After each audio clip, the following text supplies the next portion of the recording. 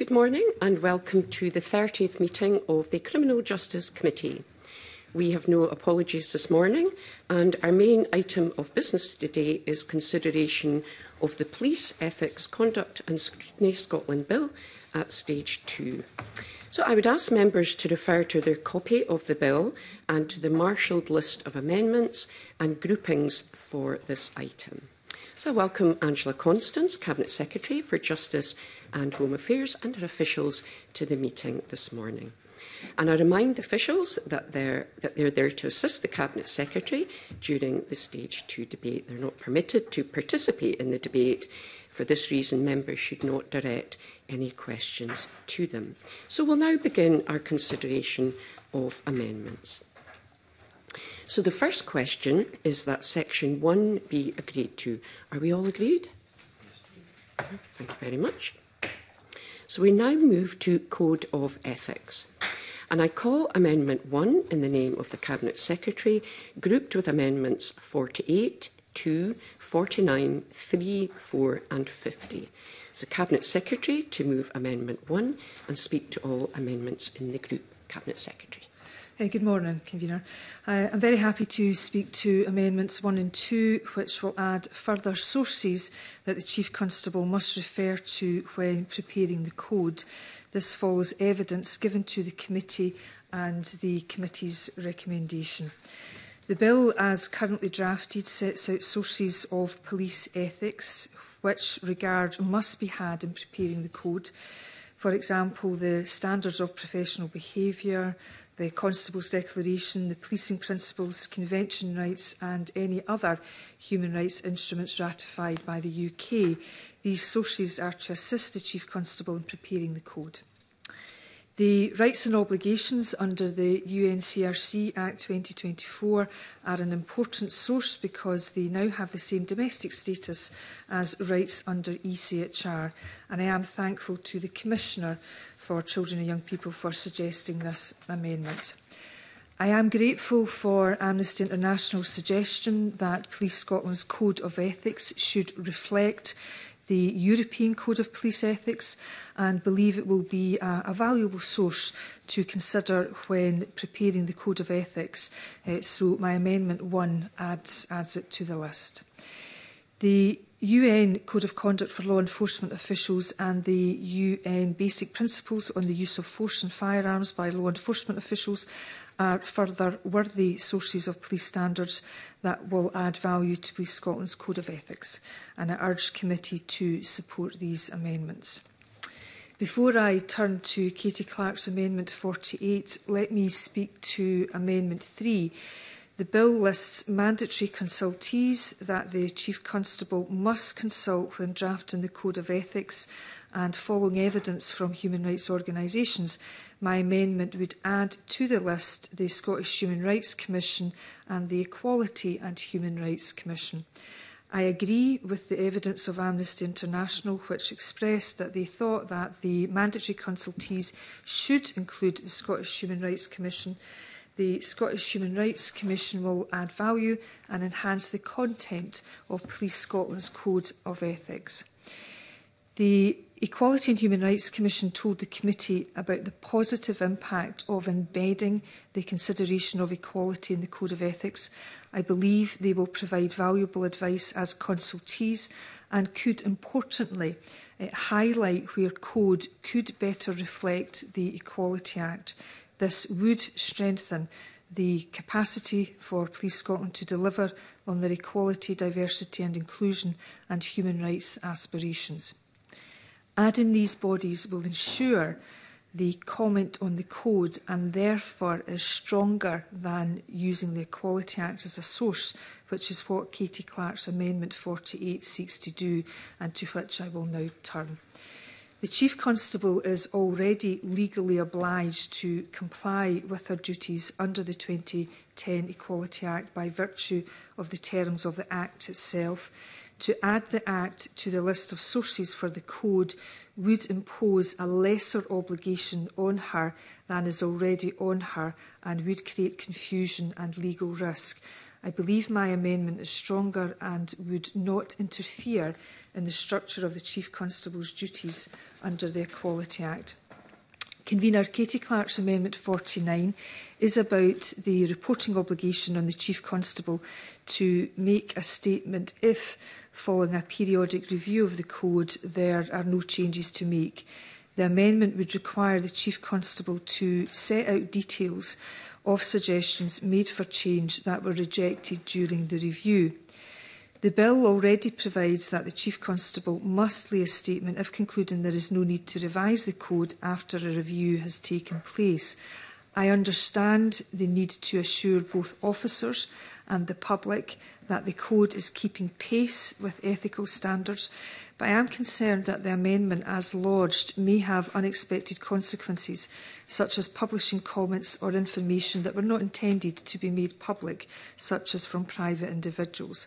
And I would very much like to understand more about the members' intentions and purpose here ahead of stage three to see if we can find a way to, to meet her objectives that whilst avoiding uh, unintended consequences. Therefore, I would urge uh, the committee not to support amendments 48 and 49. Turning to Sharon Dowie's Amendment 4, this amendment relates to who the Chief Constable must consult and share a draft with when preparing the code. The list is set out in the bill and includes people and organisations with relevant knowledge or expertise, for example, staff networks that represent particular minority groups.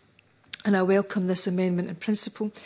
It would require the Chief Constable, when preparing the Code of Ethics, to consult with those who are representative of individuals who have made a complaint to the police. This would allow for those with direct experience of the complaint system to uh, input into ethical policing. However, whilst I believe the principles of this amendment would enhance the code, the wording does not make it clear that it is the voice of complainers as a group which must be heard rather than individual complainers, and this makes it ineffective or have unintended consequences such as hampering the preparation of the code. To ensure it can be effective, I ask members not to press it at this time and I commit to working with the member to bring this back at stage three.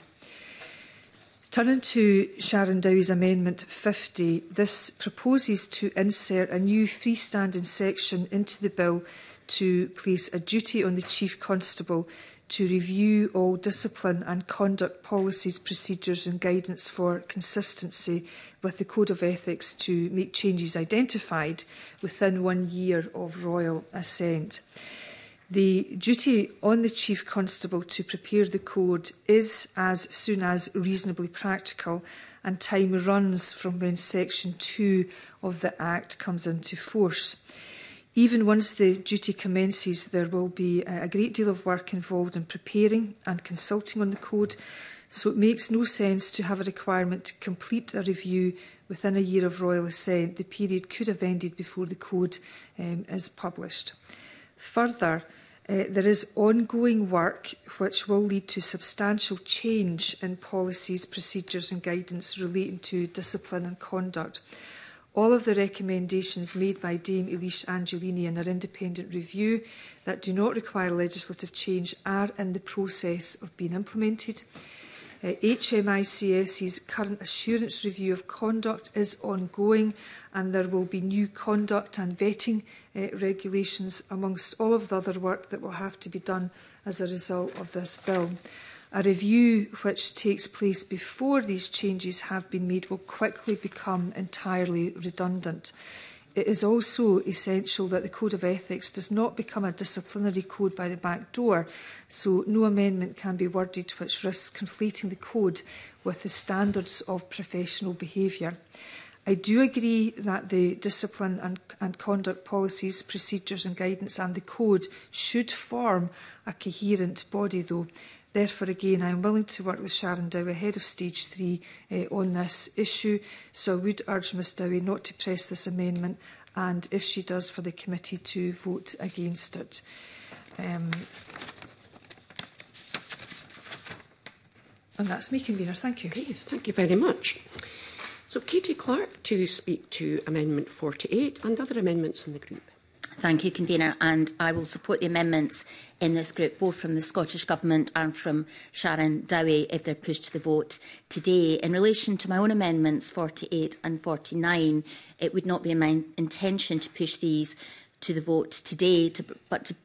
perhaps bring them back in some form at stage three after further consideration and discussion. As the Cabinet Secretary has said, section 48 um, relates to putting the Equality Act on the face of the bill. And clearly, um, the requirements of the Equality Act are centrally important considerations in the conduct of police officers. Um, this amendment has partly, partly come following discussions with equality um, campaigners. Um, this part of the bill, of course, relates to principal standards and legislation, which the Chief Constable must have regard to in preparation of the code. I note what the um, Cabinet Secretary um, has said in relation to a lesser right.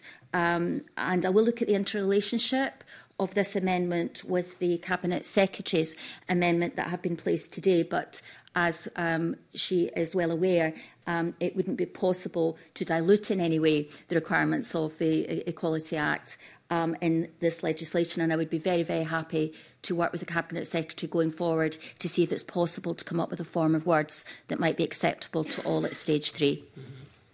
Okay, thank you very much. So Sharon Dowie to speak to Amendment 4 and other amendments in the group. Thank you. It was our intention to support the amendments in this group if they're pushed. Um, so Amendment 4, the amendment adds to the list of people who should be consulted in preparation of the Code of Ethics. It provides that representatives of those who have made a complaint against Police Scotland are consulted in preparation of the code. The bill doesn't currently involve consulting people who represent individuals who've made a complaint against Police Scotland. In preparing the new Code of Ethics, I believe it would be important to ensure that the views of those who have experience of the system are taken into account During evidence sessions, we heard directly from those who had experience of the system and the difficulties that they incurred. And to get the best version of a new code, I believe it would be beneficial for those views to be considered. Amendment 50 adds a new section to the bill relating to the consequences of a new code of ethics and the police's policies, procedures and guidance. The amendment requires the Chief Constable to undertake a review of policies, procedures and guidance related to Police Scotland and consider what changes needed because of the new Code of Ethics. It requires that any changes identified under this section should be implemented within a year of the bill achieving royal assent. I had intended it to be a realistic timescale, so I do appreciate from the Cabinet Secretary's comments that that would not be realistic.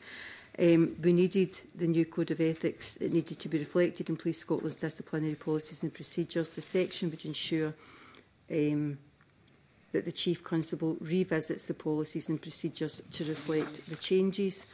This would address the concerns raised that the Code of Ethics was only symbolic and would have no effect.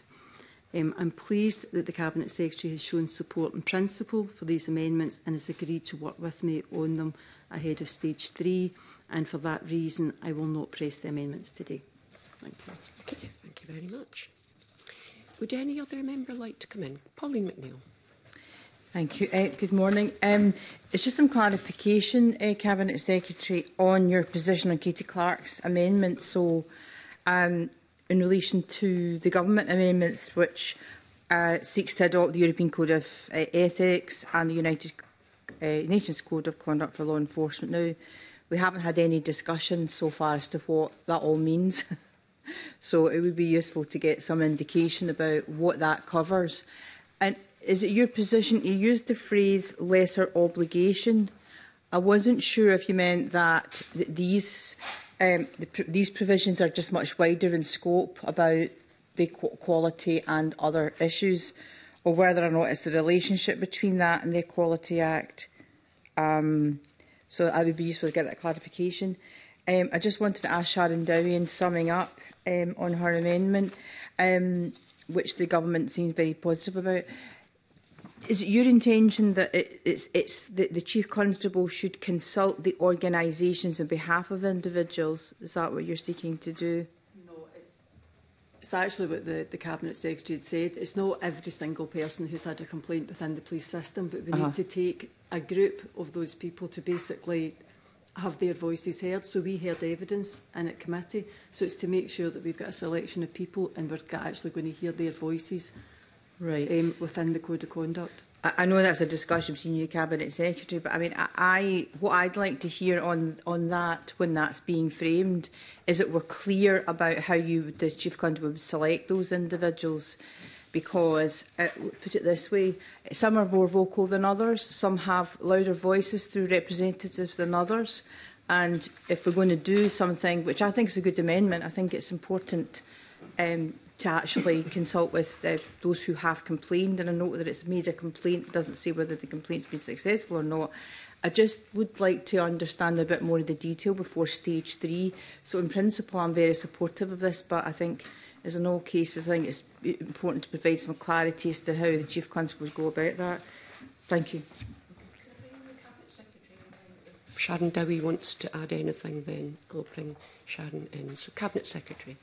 So just to start off by reiterating, convener, that um, I'm of course more than happy to work with both Katie Clark and Sharon Dowie um, in advance of uh, stage three. Um, in terms of concerns around uh, lesser uh, obligation, the Equality Act um, already demands compliance um, by the code, but adding it as um, a source means that the code needs to only have regard to the Equality Act. Right. So it would impose um, a lesser obligation than already um, implies. And I'm happy to um, you know, continue to discuss matters um, with um, members. And in terms of um, Ms, Dowie's point um, and Ms McNeill's point, it is, of course, um, crucial that there is clarity for the Chief Constable in terms of consulting um, those individuals or bodies that are able to represent um, people who've had very direct experience um, of the complaints um, process, uh, for, for example. Um, I it, and it's how that can be done in a way that um, taps into you know a breadth and depth um, of experience, um, you know, in, including um, victim support organisations, and but perhaps um, others, but doesn't put um, a very um, unworkable uh, condition on the chief constable to, you know, consult absolutely every individual who's ever had an experience or who has ever represented someone who's had a, a, a very difficult experience uh, because that would just be un un unworkable so but I think I'm, I'm, I'm positive that we can work, work our way through these issues convener And in terms of the uh, European Code of Police Ethics, um, it covers things like the rights of suspects, the rights of witnesses and victims, uh, and places wider obligations on policing bodies and you know a range of um, other matters and I would be happy to provide further detail uh, on the UN codes and principles and code of ethics and I can do that in writing. Okay, thank you very much. Um, Do any other members want to come in at all? Oh, okay. Cabinet Secretary, is there anything else you want to add just to wind up? Uh, no, thank you. I thought I had wound up. okay, thank you very much. So the question is that Amendment 1 be agreed to. Are we all agreed? Yes, we are. Okay, thank you very much. Um, I call Amendment 48 in the name of Katie Clark, already debated with Amendment 1. Katie Clark, to move or not move? Not moved. Thank you. So I call Amendment 2 in the name of the Cabinet Secretary, already debated with Amendment 1. Cabinet Secretary to move formally. Moved, Convener. Thank you. So the question is that Amendment 2 be agreed to. Are we all agreed? Yes. yes. Thank you. I call Amendment 49 in the name of Katie Clark, already debated with Amendment 1. Katie Clark, to move or not move? Not moved.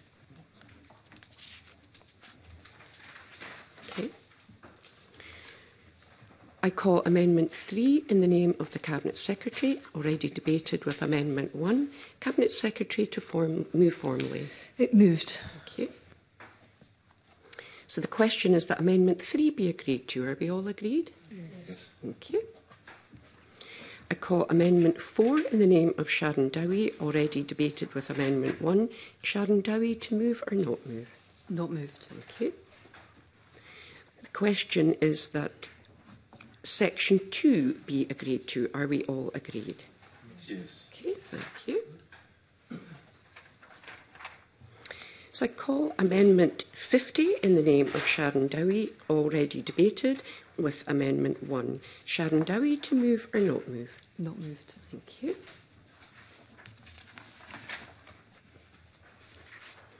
Okay, thank you. So we now move on to duty of candour and I call Amendment 5 in the name of the Cabinet Secretary, grouped with Amendments 6, 7, 8, 9, 10 and 11.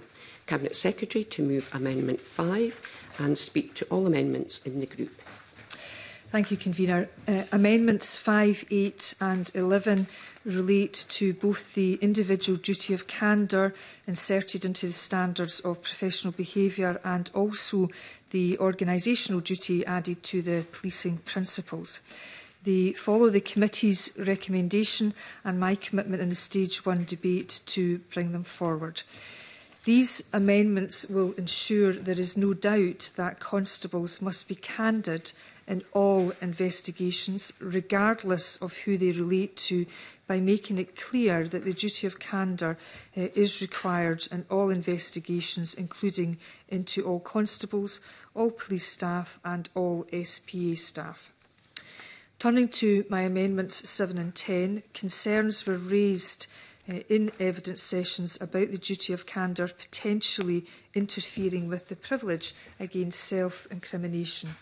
Police Scotland requested in written evidence that the bill be amended to specify that the duty of candour only applies where a constable has been confirmed as a witness. In other words, Police Scotland wanted comfort that the duty does not apply when a person is a suspect eh, in a criminal case, where the right to silence and the privilege against self incrimination is protected. The Privilege against self-incrimination is understood to encompass uh, the right to silence and applies only to criminal cases. In considering this request, I have accepted the essence of what is asked and ensured that it is done in a way that only excludes those who have a right against self-incrimination in criminal cases, rather than anyone who is confirmed as a witness in a civil or criminal matter, as this is a much wider category. If we were to make the duty of candour applicable only to those who are labelled as a witness, it would afford the right to silence to anyone not labelled a witness which would be counterproductive to the purpose of this section of the bill, eh, which is to ensure that all officers are candid. An example is where a constable has seen an incident involving a colleague that concerns him. He has not been identified as a witness and he may never even be asked about the incident, but the duty of candour should apply to him to require him to speak up and disclose the relevant information about what he has seen. These amendments spell out what is already the case, namely that the duty of candour is not unqualified but is subject to uh, the privilege against self-incrimination in criminal cases and I hope the committee will support them. Sharon Dowie's uh, Amendment 6 and 9, which state in regulations that the duty of candour does not apply to a constable suspected of having committed uh, a criminal offence, I'm afraid cannot support. Um, the amendments do not provide a direct link between the subject matter of the criminal offence and the subject matter of what the constable has been asked about. For example, you could be asked about whether you saw a colleague kick a witness but the fact that you're suspected separately and unconnectedly of serious assault would mean that you weren't under a duty of candour in relation to the unrelated matter. Whilst it could not reasonably have been implied from the bill that the duty of candour was not qualified by the privilege against self incrimination or the general protections of the law in this area, to ensure that there is no dubiety. I have made this crystal clear, responding to concerns raised in evidence at stage one, particularly from Police Scotland, through my amendments 7 and 10, so they would meet any concerns about self incrimination. I also do not support Ms Dowie's Amendments 6 and 9, given the essence of these amendments is accomplished by my amendments, which expressly states the legal position which the existing law already achieves. They do so without disapplying the duty of candour to a whole category of constables in an entirely unprincipled way, as amendments and six would do. So I ask members to support the amendments uh, in my name and oppose um, amendments six and nine today, and I move amendment five. Thank you. So Sharon Dowie to speak to Amendment 6 and other amendments in the group. Thank you. Um, Amendment 6, the amendment adds to the provisions which will introduce a duty of candour to the Police Service Scotland Senior Office Conduct Regulation 2013. It stipulates that officers suspected of committing a criminal offence are no longer required to follow the duty of candour, giving them the same rights as civilians. During evidence sessions, various bodies raised concerns that the duty of candour conflicted with the right against self-incrimination. Notably in England and Wales, the duty only applies when an officer has been identified as a witness and not a suspect. My Amendment 6 and Amendment 9 address the concern relating to this bill. Um, we would be supporting the amendments that the Cabinet Secretary has made and the Cabinet Secretary indicated that her amendments 7 and 10 cover the intention of my amendments. So we're obviously trying to get the same aim, so I don't intend to push my amendments at this stage. Okay, thank you very much.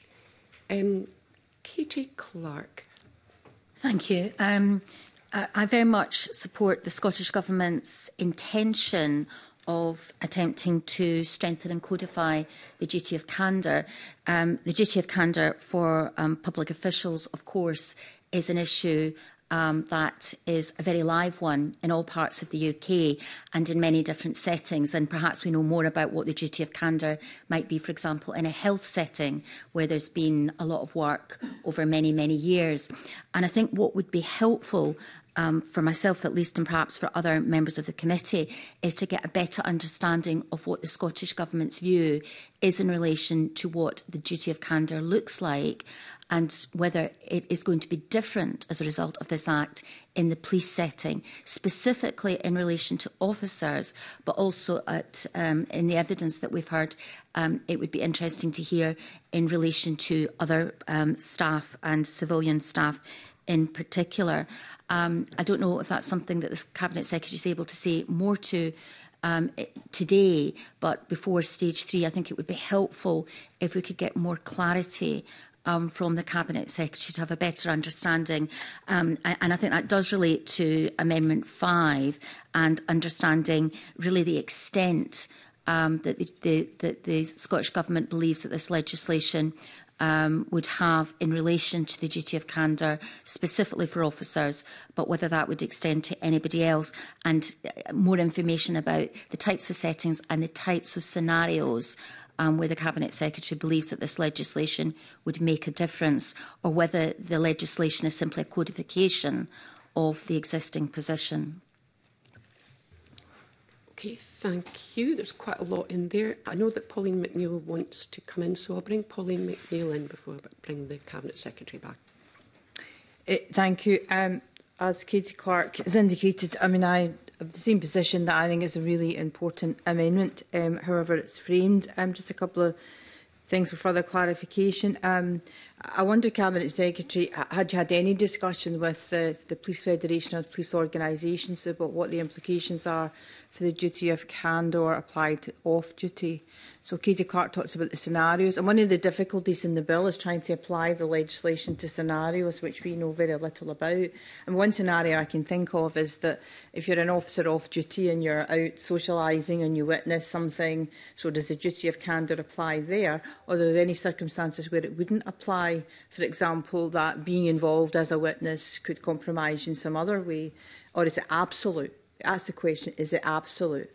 And uh, secondly, in relation to the framing of, I just wanted to understand the language being used in the amendment where it says, uh, in particular, to reasonable assertion. Perhaps officials maybe need to answer this one, but the why is it framed in that language, reasonable assertion? Does that suggest there are circumstances where the privilege against self-incrimination would not apply? I have a third point of clarification, actually.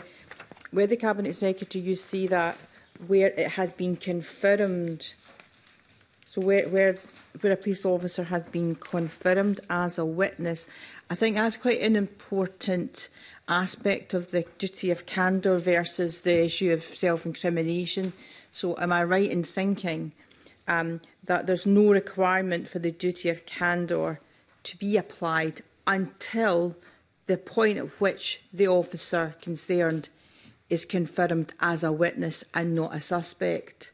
And there would be any scenarios where that might change, that you might go from a witness to a suspect, but you've already spoken without any privilege. I just wondered if those things had been discussed when you framed this. Thank you. Okay, if there are no other members wanting to come in, I'll bring in the Cabinet Secretary to wind up. Uh, thank you very much, convener. Um, certainly, in terms of the um, misuse in public office related types of offences, there is a very live discussion um, across the uh, UK um, right now for, for various reasons that cuts across um, the, the Hillsborough uh, tragedy, health, um, in terms of in fact, the infected blood scandal. Um, and I'll say probably a, a little bit more about this in, in, in later uh, sections. Um, but in short, um, what we're really uh, waiting to hear about is uh, more detailed uh, proposals. Uh, from from the UK, but we are you know alive alive to that, um, and um, will want to um, engage with matters uh, con constructively. Um, in terms of uh, this bill and, and the uh, duty of candour, I mean, I think the bill sets out what is meant um, by candour, and uh, just to remind um, colleagues that standards of professional behaviour apply to those who are off duty, to officers uh, that are off duty. So the duty of candour also applies uh, to uh, officers when they are um, off duty. Uh, and in terms of the um, content of duty, um, health uh, and legislation at least is, is, is more based on a duty of candour against organisations, not individuals, where you'll recall in this bill we debated um, extensively that there is an individual uh, duty of candour on uh, constables because of the, the, the, the nature and and of the importance of the role they fulfil um, in our society. Um, I understand there may be rules for um, individual doctors, uh, for example, via their um, professional bodies. I'm obviously not in a position to talk in detail um, to that, um, but the duty of candour um, applies against constables only in legislation. Um, and the understanding is that it could be applied to staff via the terms and conditions. Uh, and of course, happy to, to write to committee and Ms McNeill um, in more, more detail. Okay, thank you. That uh, you didn't cover there. The, the one that one, the one I was keen to understand was the language around the reasonable assertion. Yeah, so, so I mean, there are you know complicated questions in relation to the application and scope, um, and I will require probably a bit of consultation with um, legal officials. Um, so I will come back to what I've not answered um, in writing.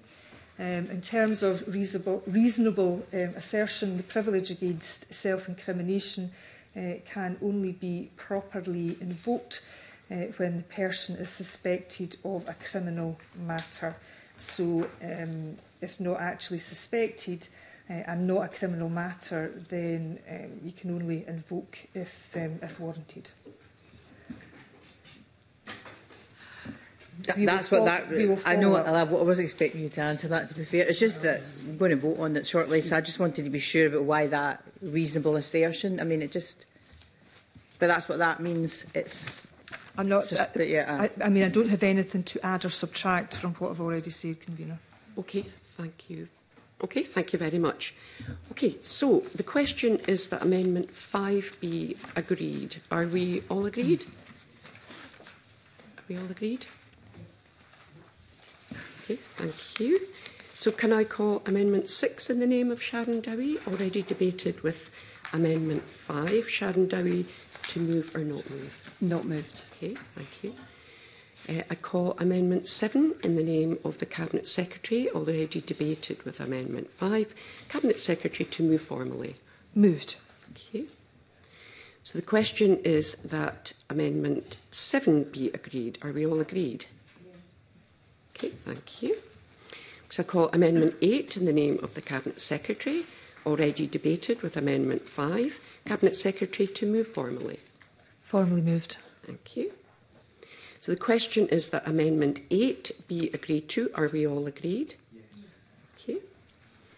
So I call Amendment 9 the name of Sharon Dowie, already debated with Amendment 5. Sharon Dowie to move or not move? Not move. Okay. I call Amendment 10 in the name of the Cabinet Secretary, already debated with Amendment 5. Cabinet Secretary to move formally. It moved. Thank you. The question is that Amendment 10 be agreed to. Are we all agreed? Yes.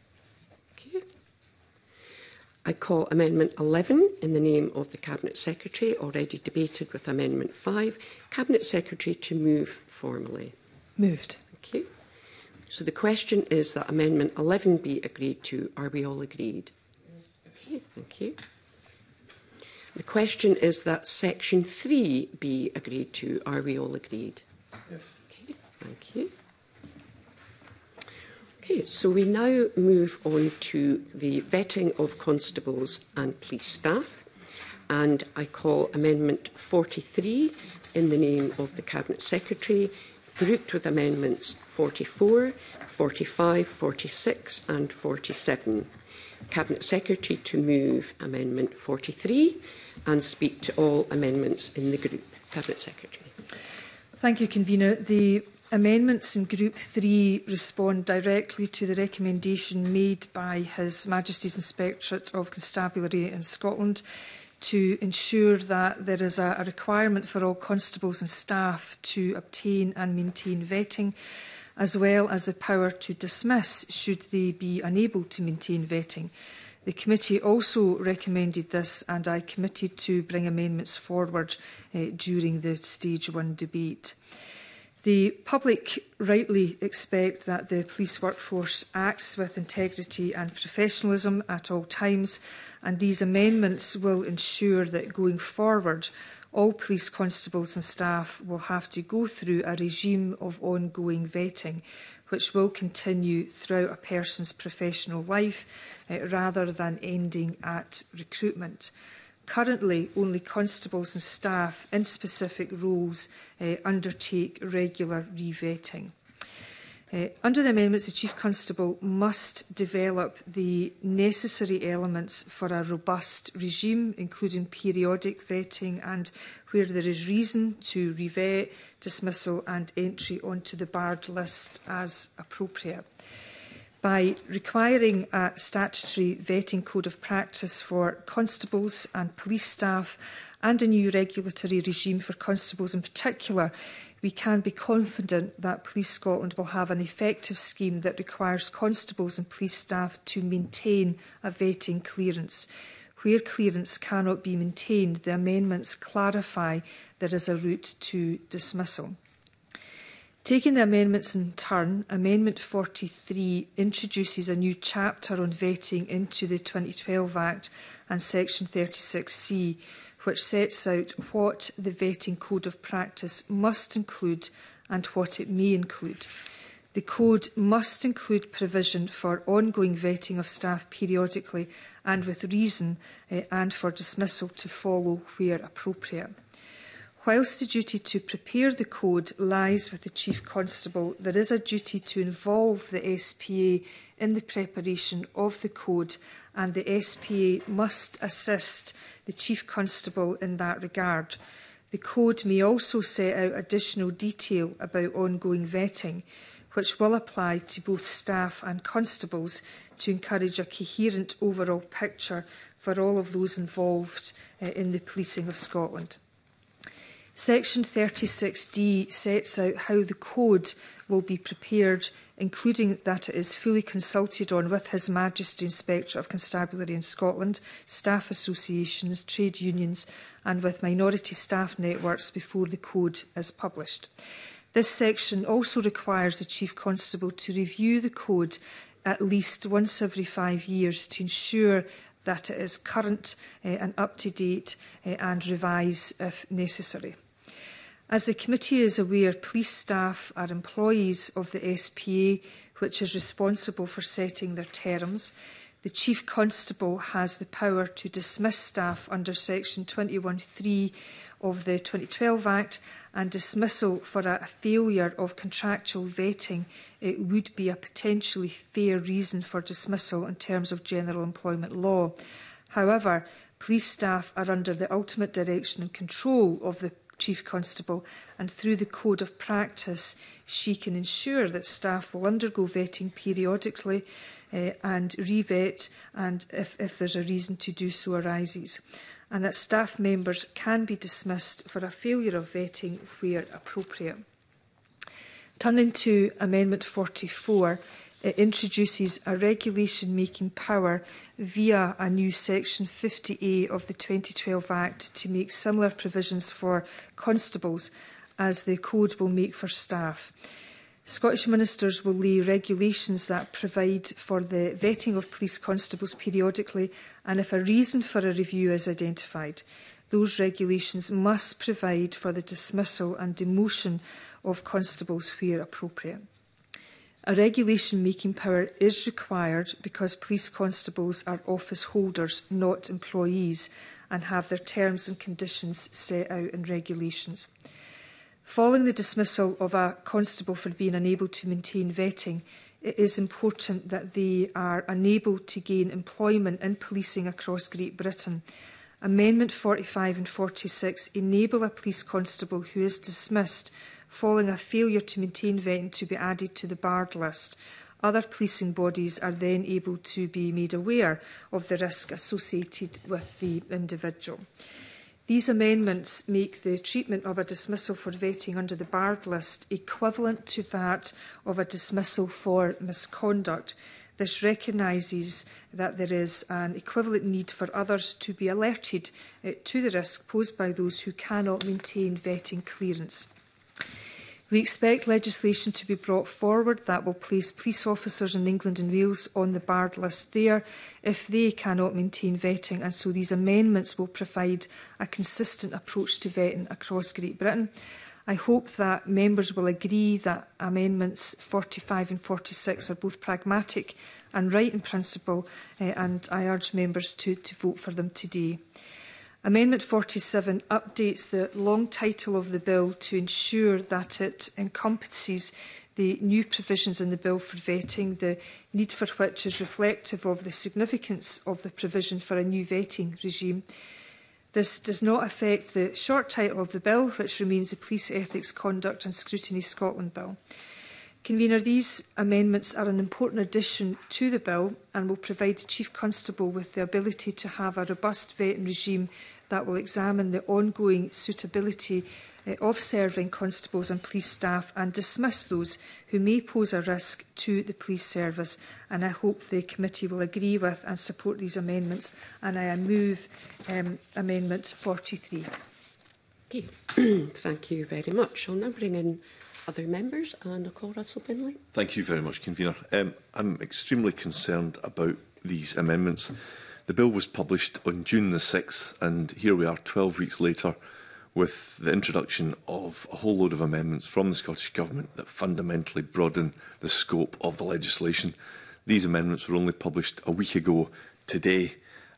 and so much so that, that it's required the Government to change the introductory text of the bill. These are not small tinkering amendments based upon evidence we've heard.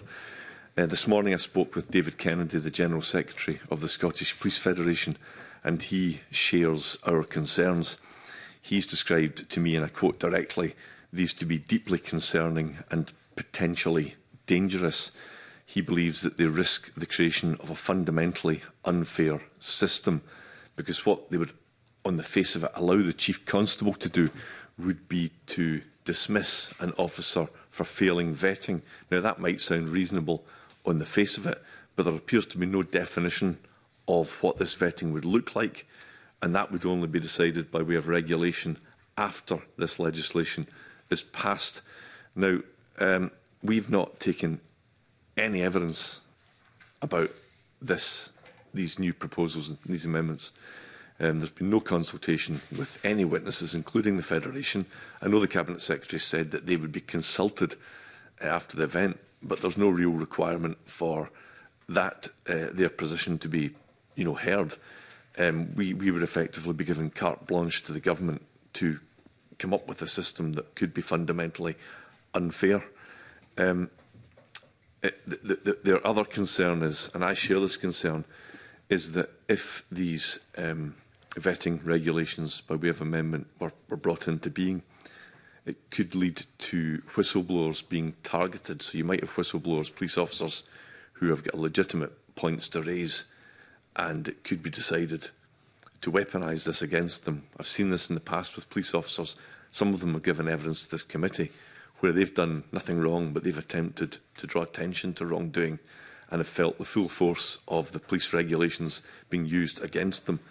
Um, so I would urge the Cabinet Secretary to press pause on these amendments today and to give the committee and to give interested parties, including the Federation, time to formally submit a response to them.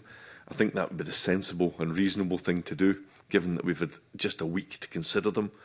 And if the Cabinet Secretary does insist on pushing them today, I would urge all committee members to vote against them at this stage, and that would allow us to revisit them at stage three in a measured and sensible way. Thank you. Okay, thank you. I'll now bring in Pauline McNeill. Uh, thank you.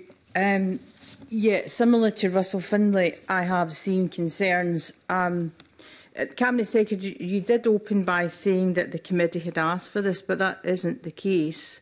What the committee asked for was that the Chief Constable would be given a power to remove uh, office, um, to remove someone who is unable to maintain their vetting.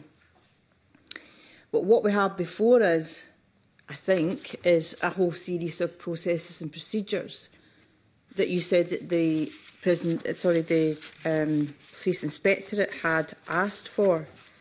But similarly to Russell Findlay, I mean, it's not that we wouldn't support it had we had had some discussion about it or had a chance to talk to officers um, of the police service who are affected by this, who are currently vetted. The issue that the committee drew out was twofold.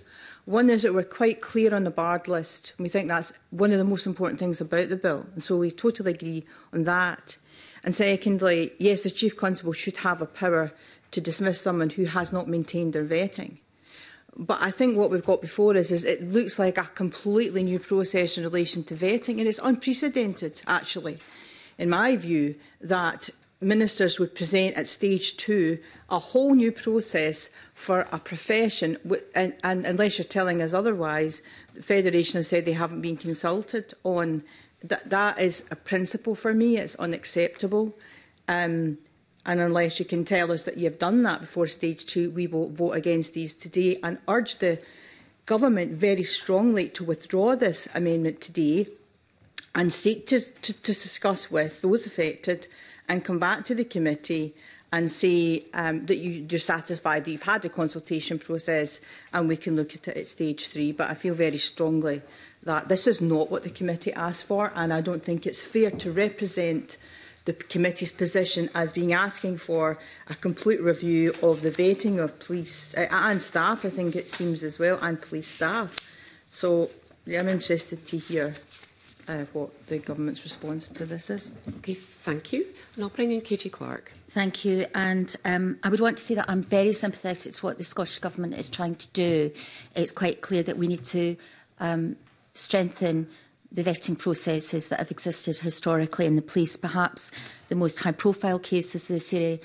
Sarah Everard case, but there's many cases um, that have come to light where greater vetting would have led to different outcomes um, and in particular um, the Cabinet Secretary will be aware of the number of domestic abuse and rape allegations against serving police officers both south of the border um, and, and no doubt in Scotland as well. Um, but I do um, think it would be helpful, um, given what has been said and the fact that there doesn't seem to have been um, consultation with, for example, the Scottish Police Federation, um, if this perhaps is something we could come back to at stage three. One of the pieces of evidence that I most strongly welcomed when we took evidence in relation to this bill was the evidence that we heard that greater resource had been put into vetting by the Scottish Government and more staff had been employed to do that work. So it's quite clear there's already um, a great deal of attention given to this um, to try to ensure that we have um, better vetting now and better, better vetting going forward. Um, but I do think it would be helpful if we could try to ensure that this is done on a cross-party basis um, and that you know, rather than deal with it in this way um, at this stage, um, that, that we use the time between now and stage three to look at what the Scottish Government are proposing and to give us the opportunity, for example, to speak with serving police officers and others, indeed campaigners, campaigners who are campaigning um, to ensure better police accountability and better vetting of the police to make sure that the detail of these amendments are something that the Parliament could support. Okay, if no other members, Rona Mackay. Thank you. Thanks, convener. Um, yes, just just listening to the the um, exchanges here, I'm I'm just a bit confused about. I mean, I I think it was clear that that vetting procedures needed to be strengthened, and that that's what these amendments are trying to do. And I'm going back to Russell Finley's um, comments. I'm just a bit confused about the Scottish Police Federation's concerns. I, I, I didn't take that that part of it And Why are they so against this. And you mentioned a few times the word could or should. Well, that's hypothetical situations that we can't address. I'll bring in respond, yeah, indeed. You know, one thing I didn't say, which the Federation did tell me this morning, is they support legislation that ensures the integrity of their workforce. That's in their interests and everybody's interests, but it has to be fair. And what these amendments do is bring about a whole new ability for the Chief Constable to use uh, vetting to arbitrarily dismiss officers who are deemed to have not passed that vetting, but it's only by way of regulation after the event that this will be properly defined. And uh, given that we've had three to four months of taking evidence in this bill and discussing it, it's all just extremely last minute. Nobody, not least the Scottish Police Federation or indeed the Association of Scottish Police Superintendents or any other interested party has had an opportunity to contribute to this uh, part of the legislation that's only been introduced by way of amendment that were lodged a week ago today by the Scottish Government. Um, and I think it's just sensible that we press pause. We may all fundamentally agree that vetting needs to be improved and there needs to be some mechanism whereby mm. if something arose through vetting, the police should have the ability to dismiss someone. But it all just seems a little bit slapdash and slightly irresponsible to do so on the basis of amendments that are a week old that none of us have had any meaningful way of looking into.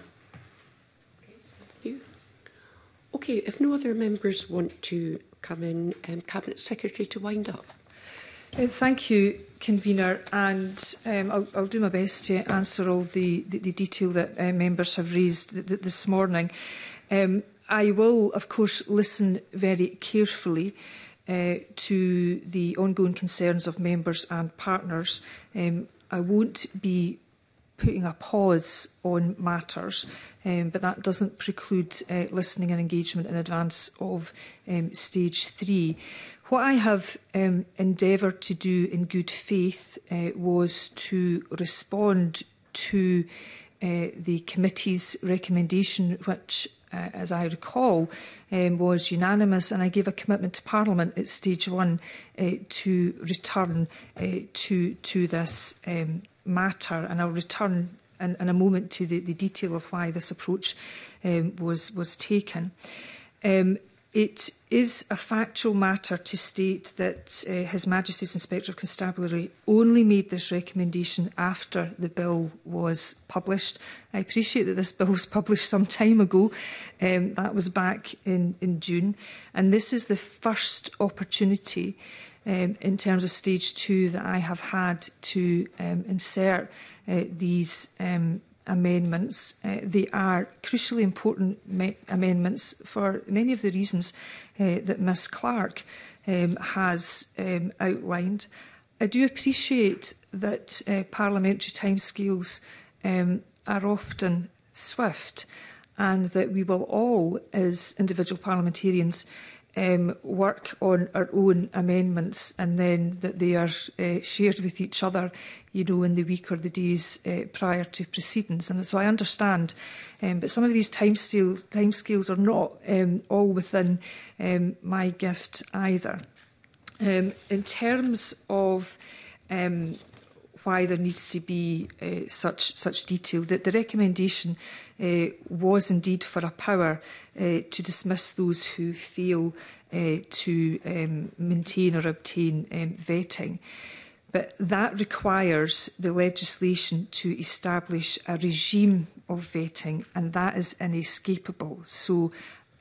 you know, I understand why people, you know, may question the, the, the length of amendments um, and the, the, the scope and the, the detail of that.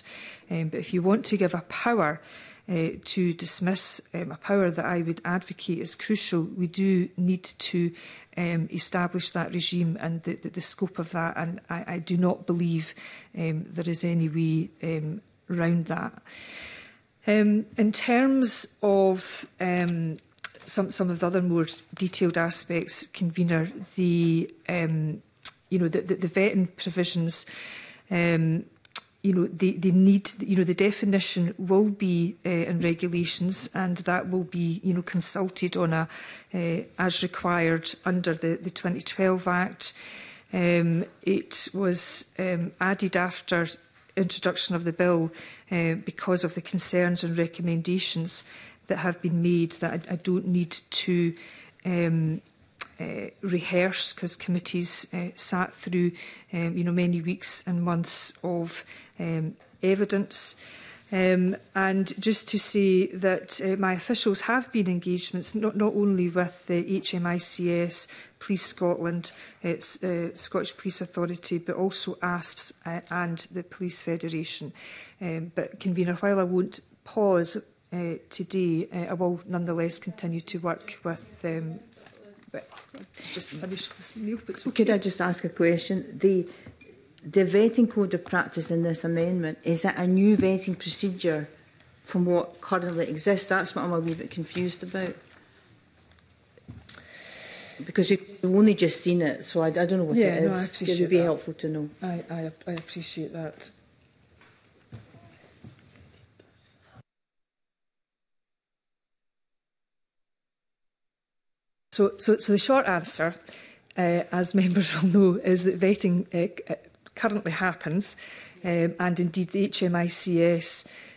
um, assurance review spoke uh, highly of the progress that has been made um, in and around vetting and said it's of a high quality. But in terms of the power to dismiss, that uh, that is the, um, the the provisions in the regulation uh, that is missing uh, that if we want to, as I believe committee does, to empower the Chief Constable to have that power to dismiss, that's what, that is what um, we're trying to address. For the vote, this is not a new vetting procedure. It's, it's new in regards of the power to dismiss. Power. That's the bit that is missing just seems an awful lot big amendment to do one thing. Well, you know, you know, sometimes amendments are small, sometimes um, they're large. Um, but this, you know, this, this, will be, if, if it's of any interest, this will be uh, the same as um, England and Wales.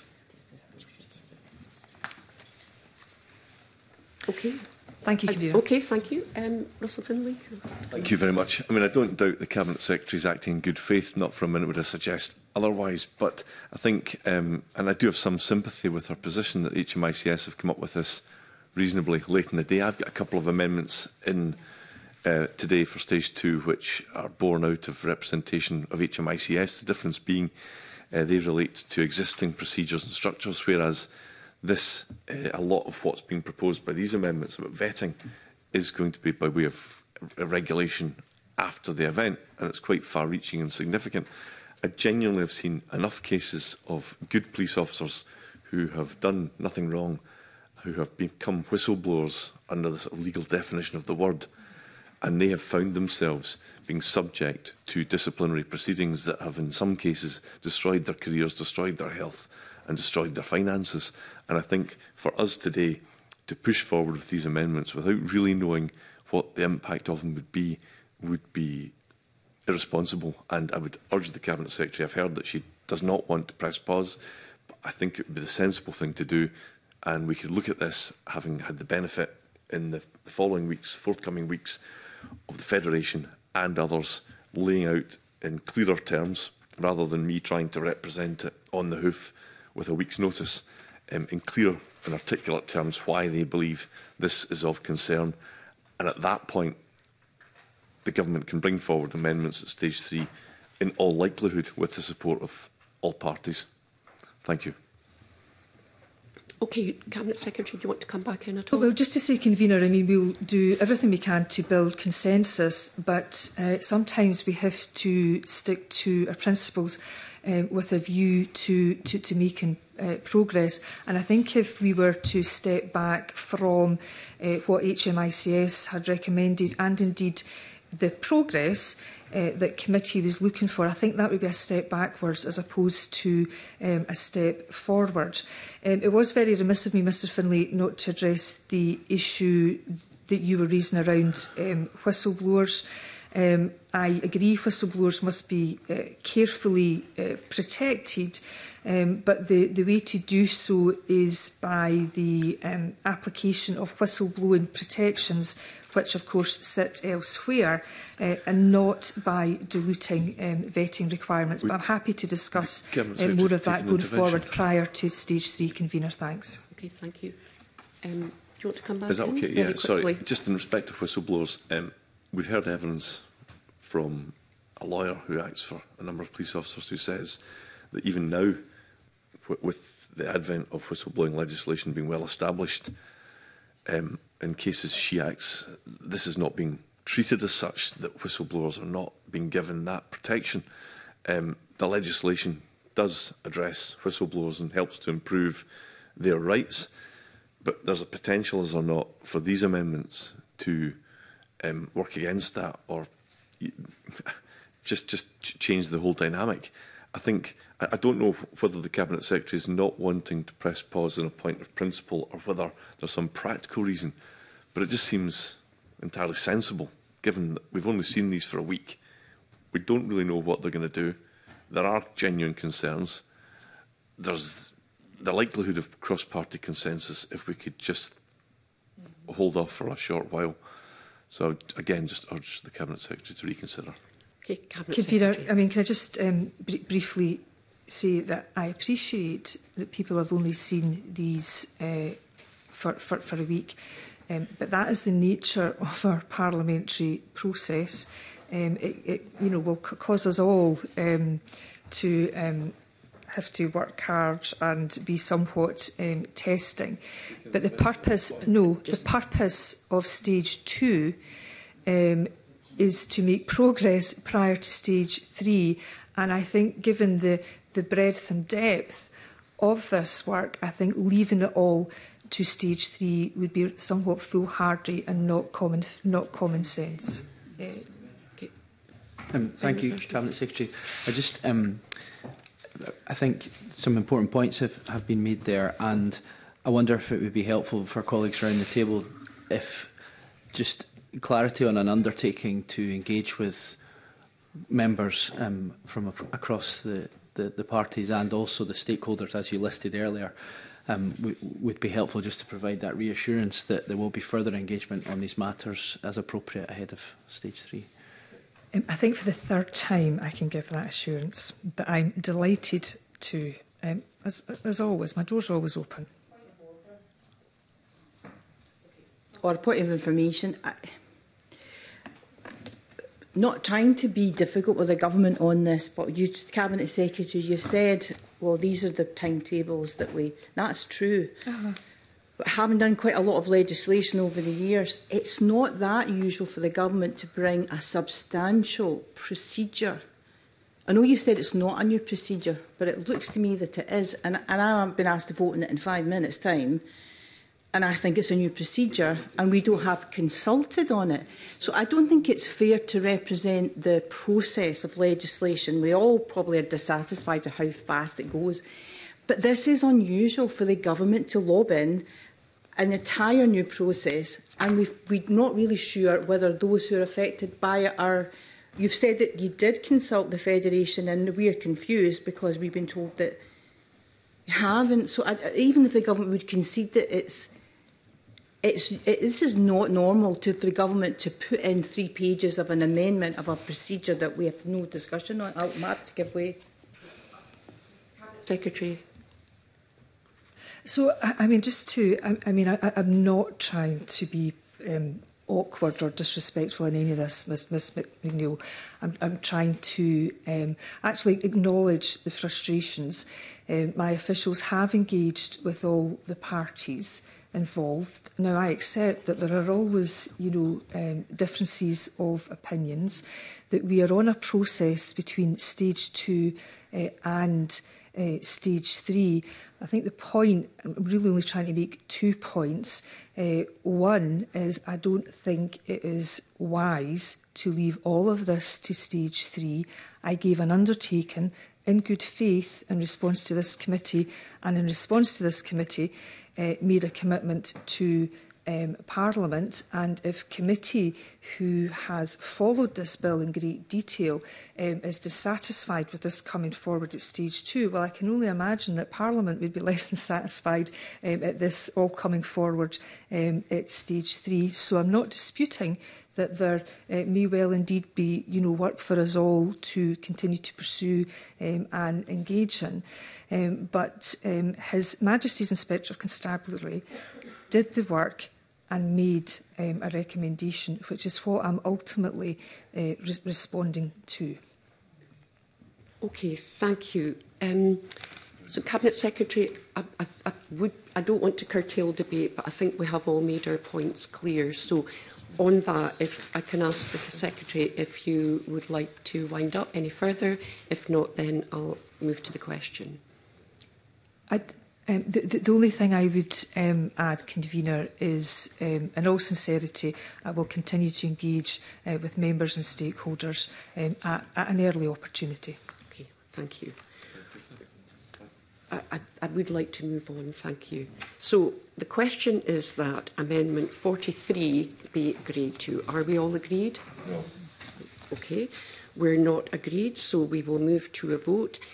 So those in, who agree with the amendment, please show your hands. Thank you. Those who are not in agreement with the amendment, please show your hands. Okay. Those who wish to abstain, please show your hands. Okay, thank you very much.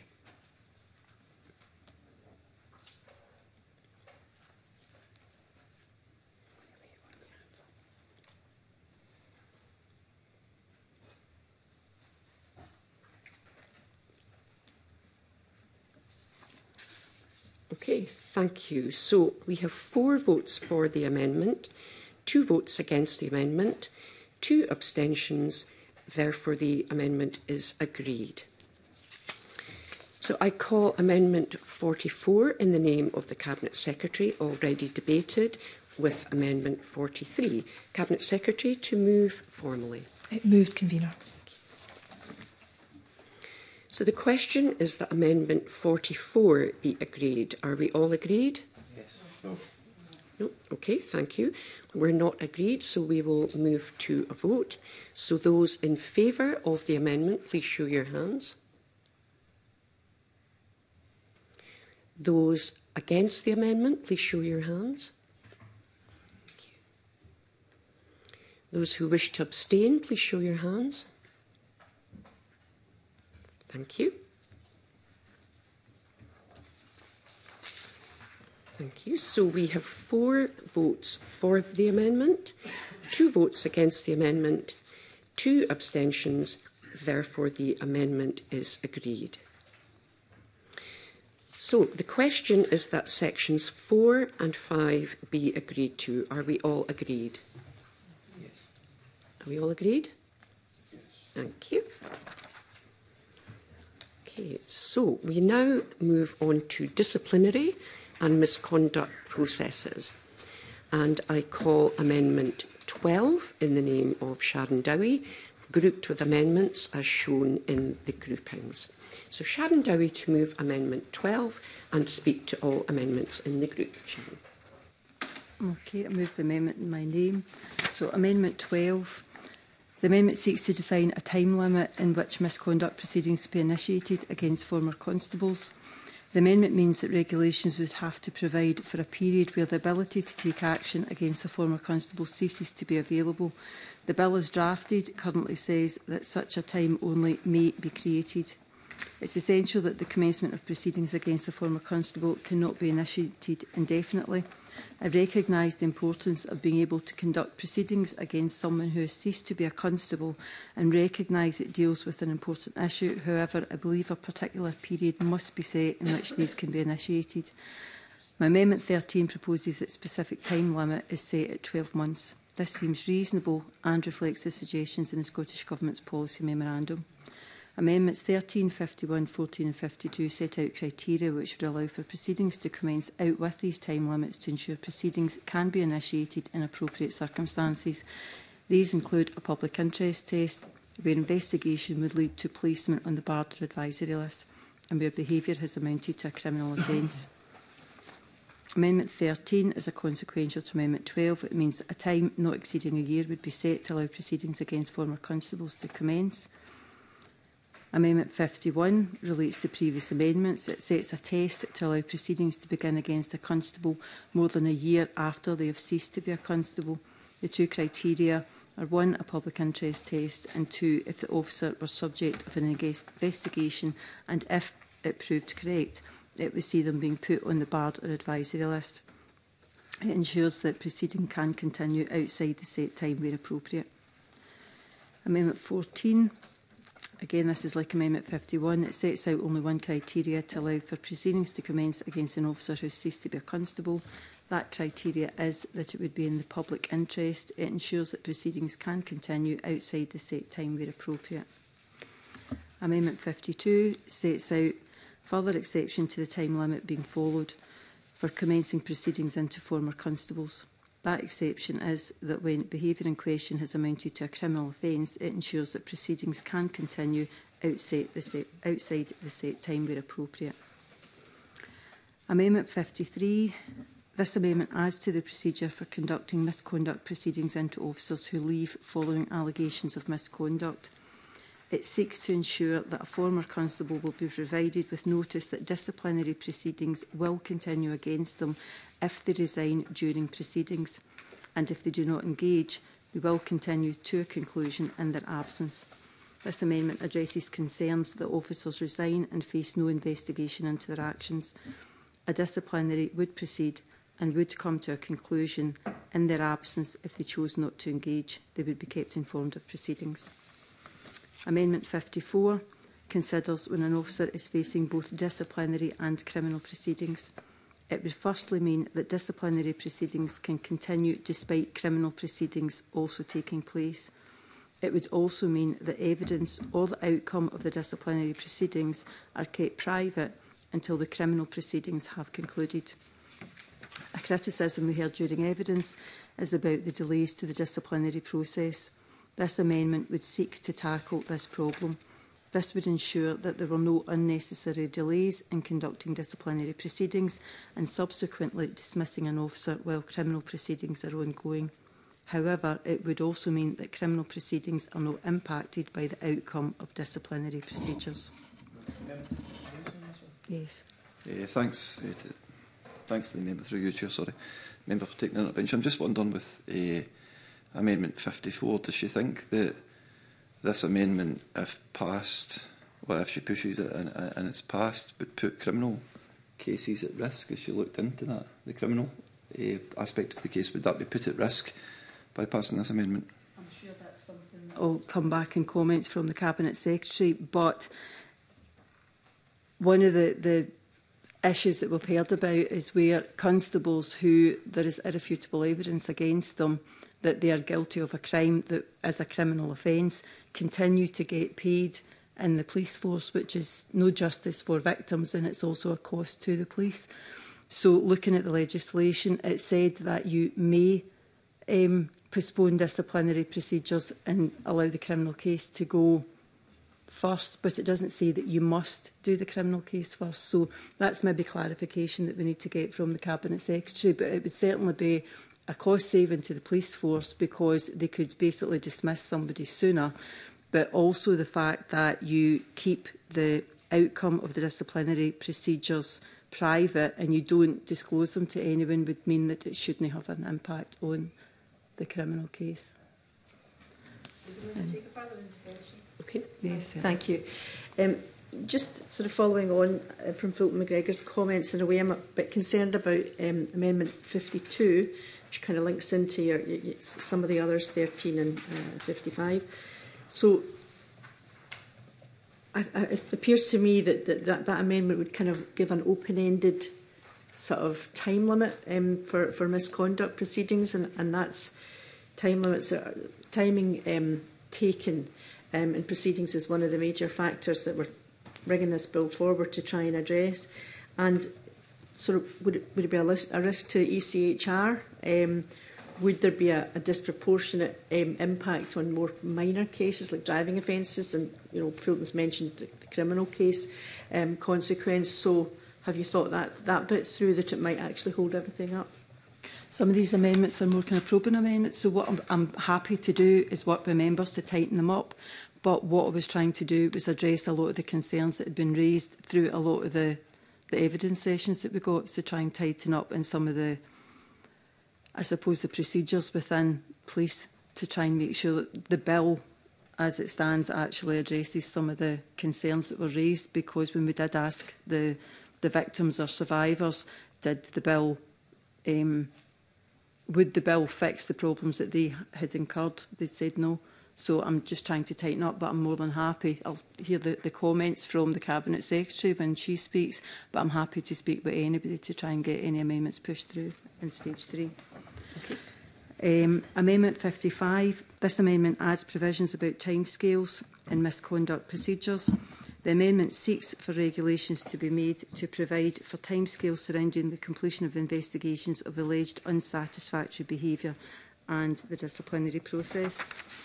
During evidence sessions, we heard from those who've experienced the complaints process and the impact of delays. For example, Stephanie Bonner's account of the delays she faced were unacceptable. This amendment will go to the root of the problem and ensure clear time limits are identified. Amendment 15 adds a further section to the bill relating to a Chief Constable's power to dismiss constables on grounds of conduct or behaviour. The amendment gives the Chief Constable the power to dismiss any constable whose conduct challenges certain behaviours such as the Code of Ethics. This amendment addresses significant concerns, firstly about delays in the process. If behaviour fulfils criteria, the Chief Constable should be able to dismiss the person without going through the process where an outcome is inevitable. And again, that's where I'd mentioned the irrefutable evidence. Secondly, it addresses public concern about constables who have done significant wrongs but have been kept on, on full pay while their case was investigated. In a recent example, we heard of a constable who was arrested in August 2021 and, despite being suspended, received full pay until he quit the force earlier this year. He was sentenced to prison for his conduct. Amendment 58 gives the Chief Constable a power to dismiss a constable in relation to their behaviour. It's like Amendment 15. The amendment gives the Chief Constable the power to dismiss the officer with or without notice when they consider their behaviour to be unacceptable. This relates to their compliance with behaviour standards or the Code of Ethics. The amendment addresses concerns about delays in process, similar to Amendment 15. In this amendment, the Chief Constable must give written reasons for the dismissal and must prepare and publish guidance on the use of the power. Amendment 26. The amendment relates to the right of appeal to a police tribunal. The bill, as drafted, only allows a senior officer to do this. This amendment would also allow constables to do so. Currently, the bill limits the right of appeal to senior officers. Any constable is allowed to appeal to a police tribunal against any decision to dismiss the constable or to demote a constable in rank. However, this part of the bill gives only senior officers the additional right to appeal against any decision to take disciplinary action short of dismissal or demotion against them in terms of their conduct. And I think this should be extended to all constables. Um, Amendment 27 has the same effect as Amendment 26. Amendment 28 is a consequential to Amendment 26 and Amendment 27. It defines what is meant by constable in terms of the right to appeal at a tribunal. And Amendment 29 has the same effect as Amendment 28. Amendment 30 considers the circumstances where a constable can be suspended from duty pending investigation. This amendment means that regulations for automatic suspension from the role of constable only apply where the investigation relates to gross misconduct or a criminal offence. In other words, a, a, an allegation that would lead to their dismissal. This amendment is needed to clarify in the legislation for what reason automatic suspension can apply. Amendment 31 deals with the notification to constables of misconduct proceedings against them. This amendment requires for regulations which would require constables to be notified as soon as an investigation into their standard of behaviour has commenced. This amendment would ensure that constables who are subject to misconduct proceedings are kept informed of the proceedings against them. Amendment 32 considers how disciplinary provisions relate to a constable during a criminal investigation. The amendment seeks to clarify that the procedures in this section apply to constables when they are subject to criminal investigations and proceedings. This amendment is added to ensure clarity. These amendments seek to address a number of concerns that were raised during evidence sessions. Officers resigning and no further action being taken, no timescales for conducting and completing misconduct complaints and investigations, Chief Constable being unable to dismiss a constable where there is irrefutable evidence of guilt, and constables being suspended without being informed of the reason why. I'm pleased that the Cabinet Secretary has indicated that the Government will support amendments 12, 13, 14, 18, 20, 22, 23 and 24, has agreed to work on 53 for stage 3, so I will therefore not push it today, and will support Amendment 17 if Amendment 21 is not pushed, and I will not push Amendment 21. The other amendments were done with the best intentions of improving the bill, and I would agree that some could be defined more for stage three, and I look forward to hearing the Cabinet Secretary's comments on them. Thank you. Okay, thank you.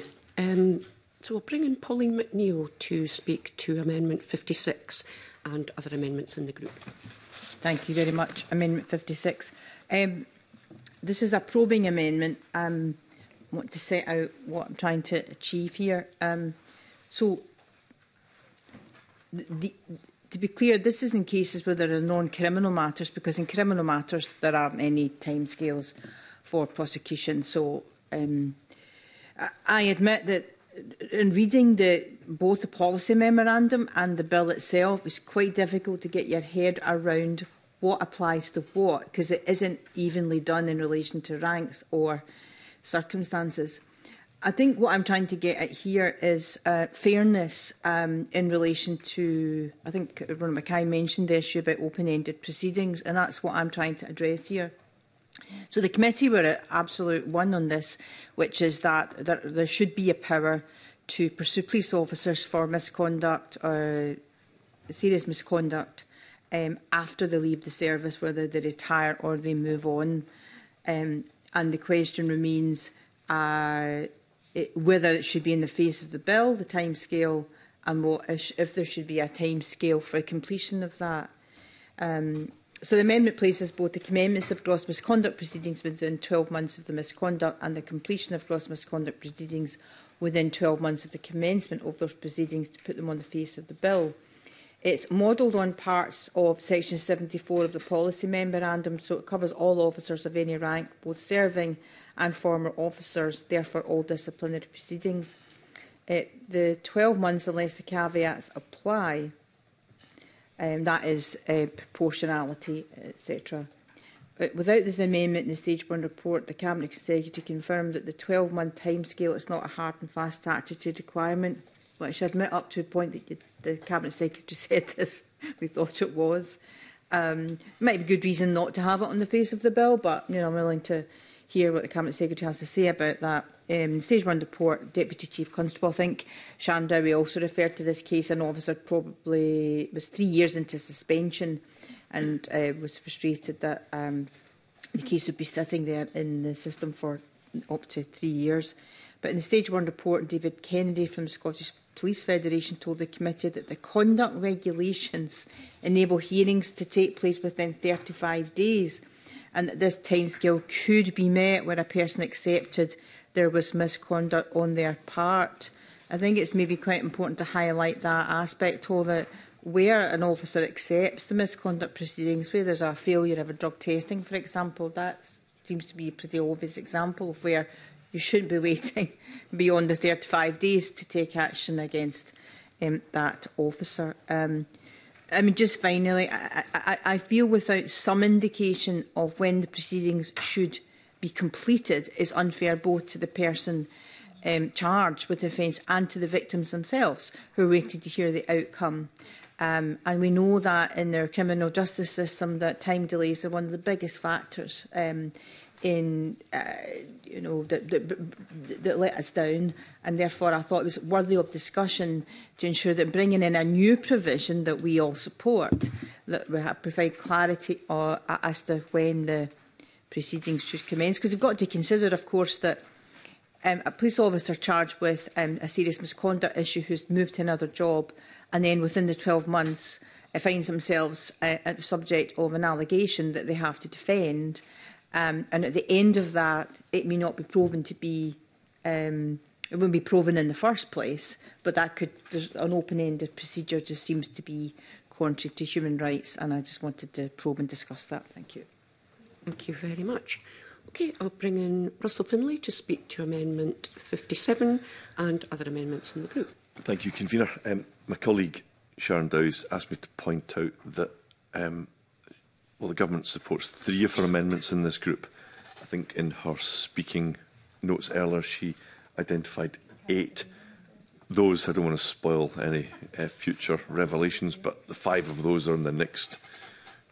uh, section. So yeah, next group, just for the record, so that there's no confusion. So the three that are being supported by the government are 12, 13, 14, and I'm speaking to 57 in my name. Now, what this would do is empower or give the power to the Chief Constable to dismiss an officer whose conduct is considered to amount to gross misconduct, uh, even when there are ongoing criminal proceedings against the officer.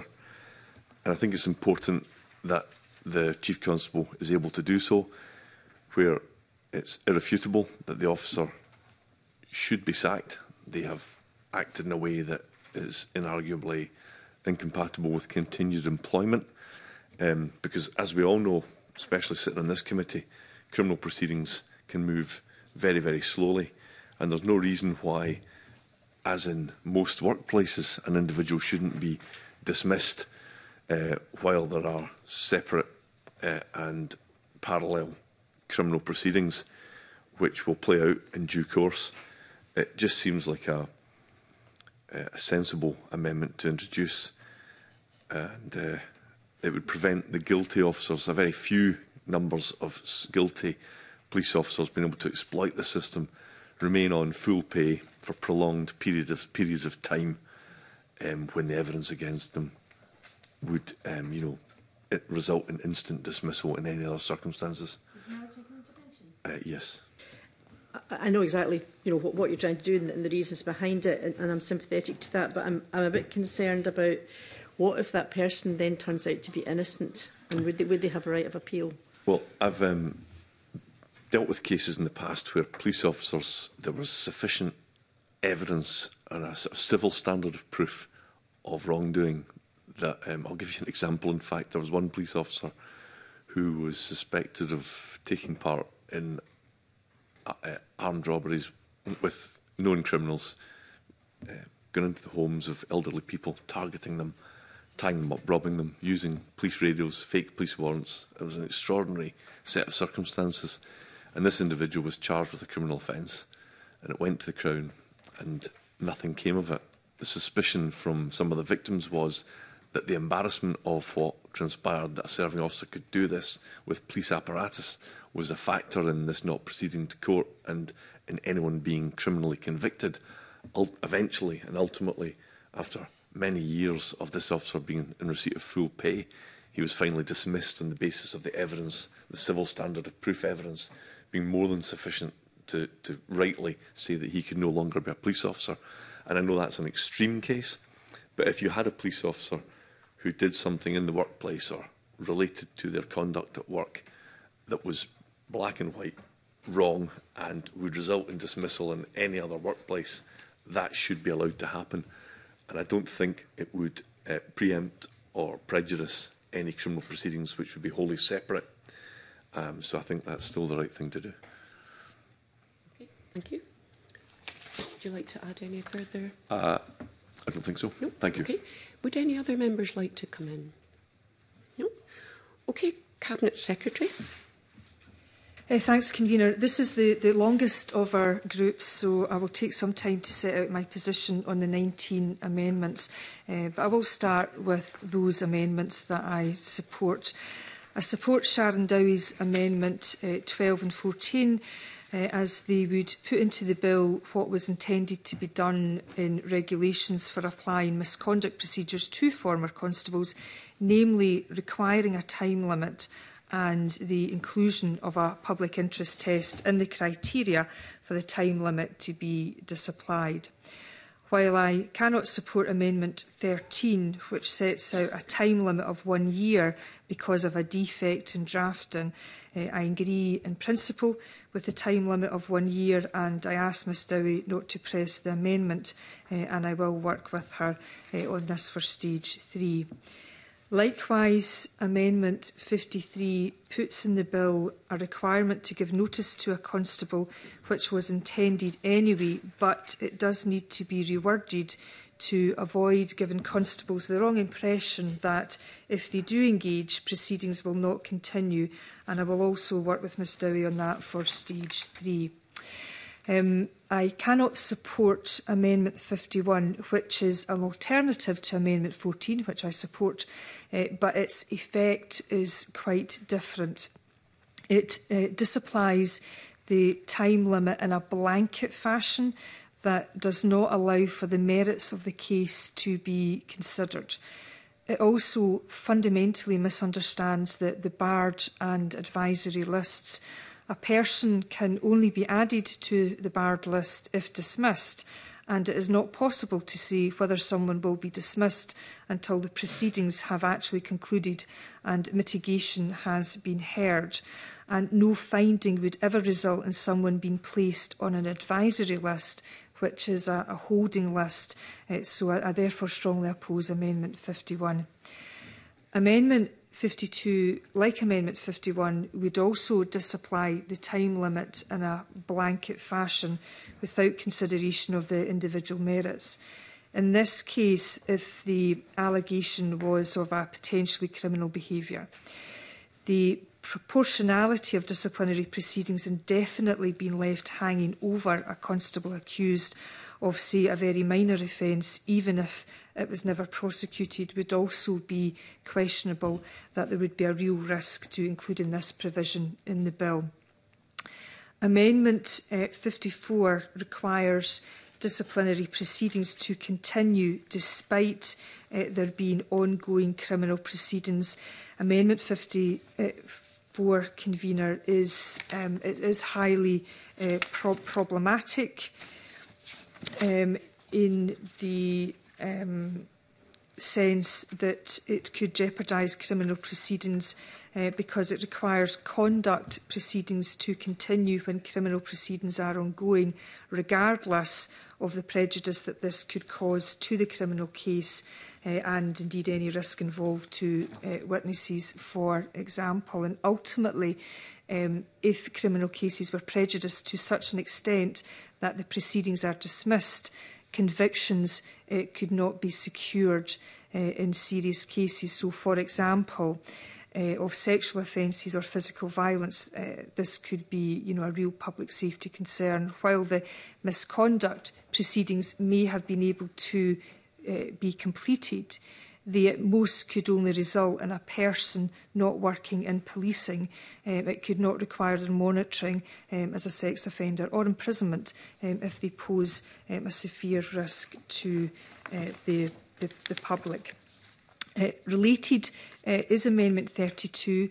Uh, it's uh, an avoidance of doubt provision that misconduct procedures uh, may apply to a constable uh, during any period uh, where criminal proceedings are ongoing.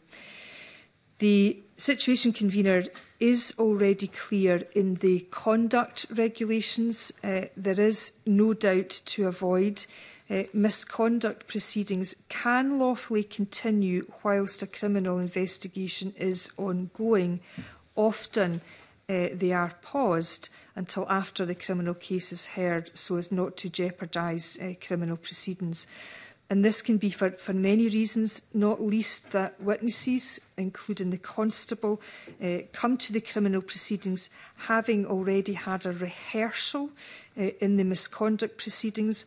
And this can seriously undermine the integrity of the oral evidence in the criminal trial uh, a ban on evidence or outcomes of the disciplinary proceedings uh, being published just fails to appreciate the problem presented uh, by misconduct proceedings progressing to a full hearing in advance uh, of a, a criminal trial.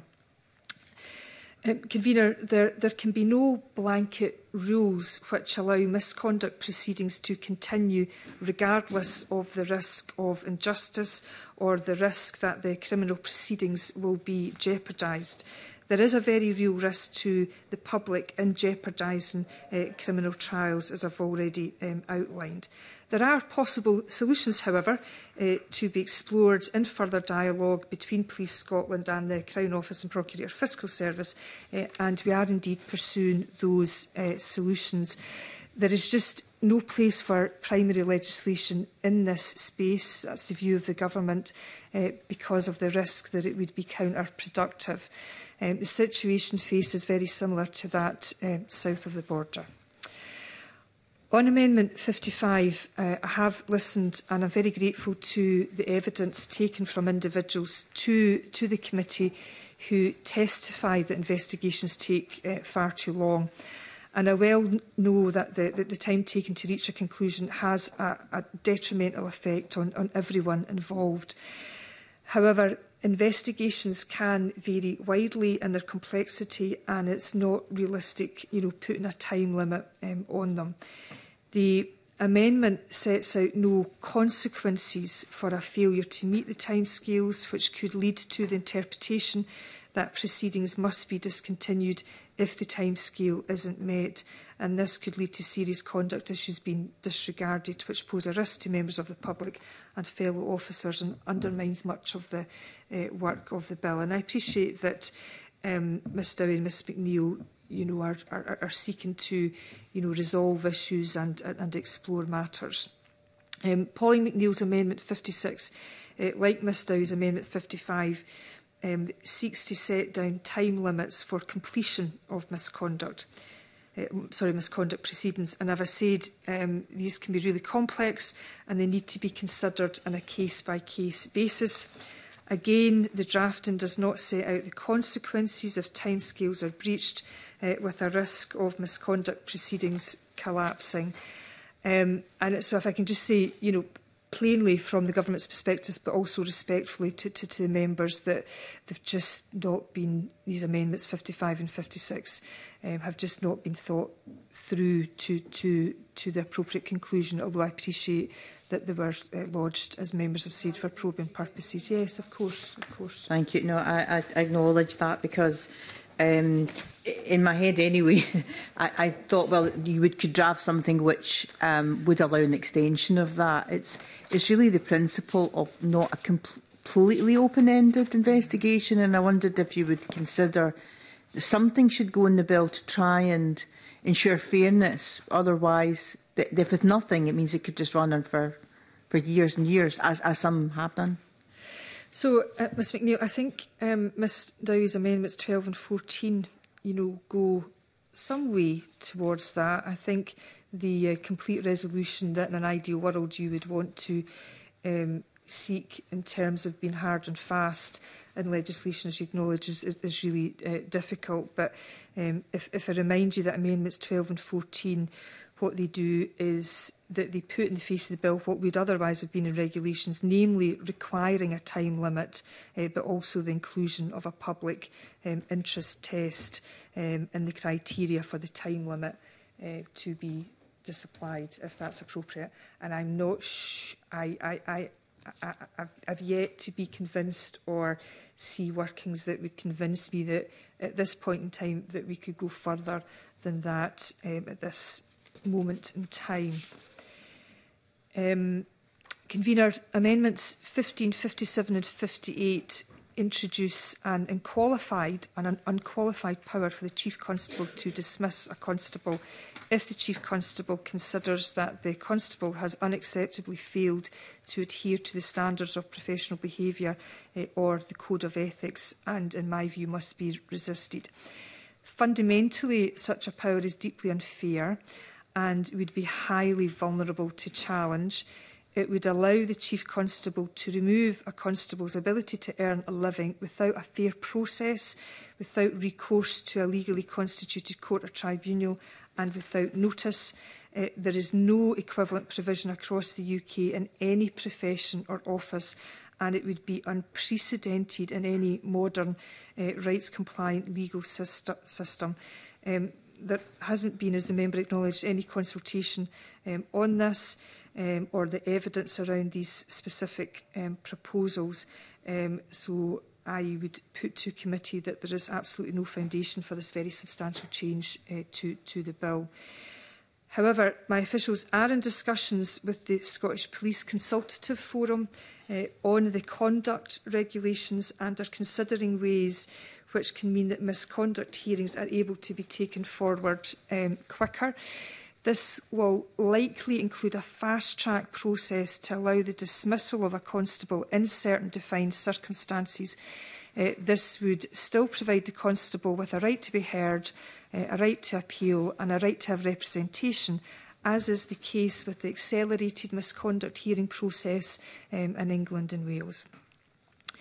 Convener, amendments 26, 27, 28 and 29 would fundamentally change the policy intention behind the section of the bill, which is about senior officers and, uh, again, I'd say to committees, should be resisted. The, the reason that Section 8 only applies to a dozen or so senior officers that exist is because the intention is that their cases will be heard by an independent panel to widen out access to a full rehearing before the PAT, that's the Police Appeals Tribunal, for the many thousands of constables for all sanctions, no matter how minor, would have very serious implications for the functioning of the PAT. It would also be entirely unjustified as a matter of principle.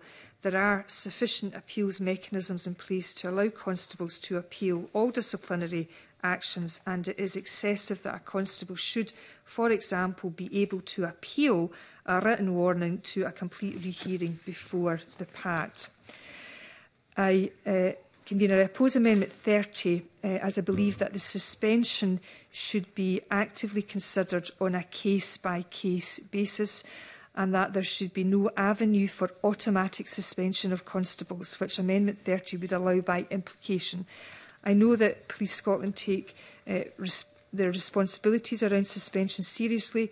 Conduct regulations currently limit the ability to suspend a constable to situations where they might prejudice uh, a misconduct or criminal investigation or where it is uh, in the public interest. The amendment assumes the existence of an automatic suspension um, and therefore by implication uh, permits it and this would be uh, quite a startling departure which would be strenuously opposed by stakeholders. Amendment 31 would insert a requirement for constables to be notified as soon as investigation into their misconduct has been commenced.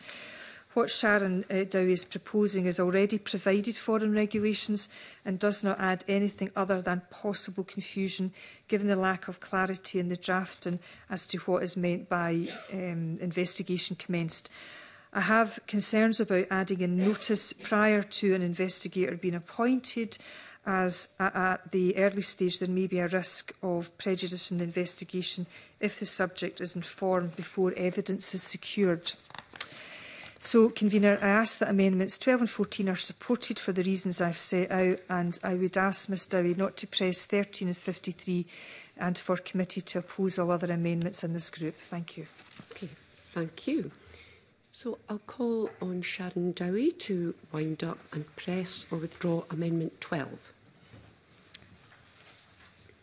Sorry, sorry, back to my sheets. I think in the interest of quickness for some of the the comments that the Cabinet Secretary's made. I'll go back and look at the comments individually and have a look to see whether I think I can work in any of my amendments and maybe bring them back at stage three with a bit more clarity. But I take on all the points that she's said. Um, and I don't have any other comments at the moment. Thank you. So, okay, so amendment would 12. you like to press with press amendment 12? 12 yeah. Okay. Okay, thank you. So the question is that Amendment 12 b agreed. Are we all agreed? Yes. yes. Thank you. So I call Amendment 13. Okay, mm, sorry, I've that's fine. Them all up. Take your time. There's a big group.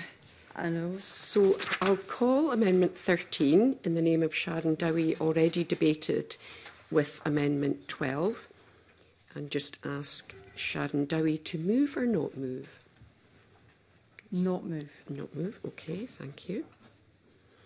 So I call Amendment 51 in the name of Sharon Dowie, already debated with Amendment 12. Sharon Dowie to move or not move? Not moved. Okay, thank you. I call Amendment 14 in the name of Sharon Dowie, already debated with Amendment 12. Sharon Dowie to move or not move? Moves. Thank you. So the question is that Amendment 14 be agreed to. Are we all agreed? Yes. yes. Thank you.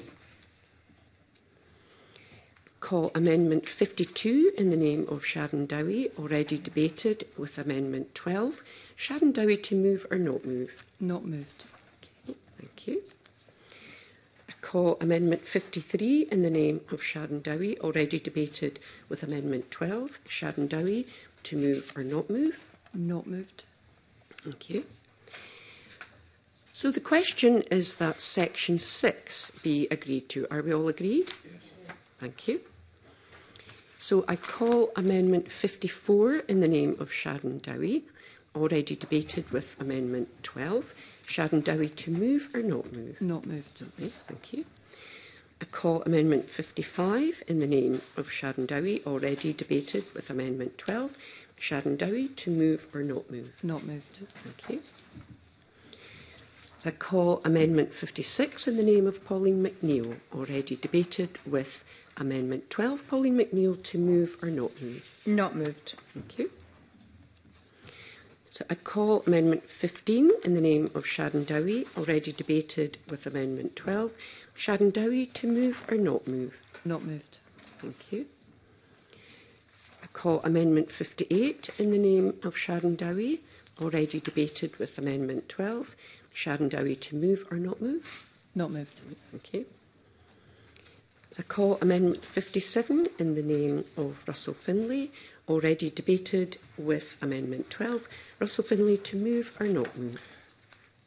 so, Convener, I don't know if I've had the opportunity to respond to the Cabinet Secretary's points. Um, I think do so.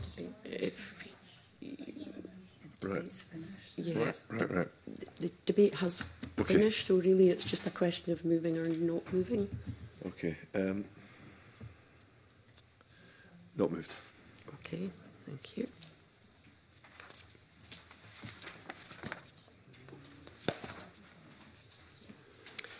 So I call Amendment 45 in the name of the Cabinet Secretary, already debated with Amendment 43. Cabinet Secretary to move formally.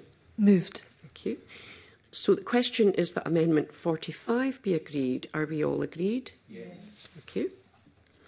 I call Amendment 50, sorry, I beg your pardon, 46 in the name of the Cabinet Secretary, already debated with Amendment 43. Cabinet Secretary to move formally. Moved. Thank And the question is that Amendment 46 be agreed to. Are we all agreed? Yes. No. no. We're not agreed. Okay, so we will go to a vote. So can members who agree with the amendment please show your hands?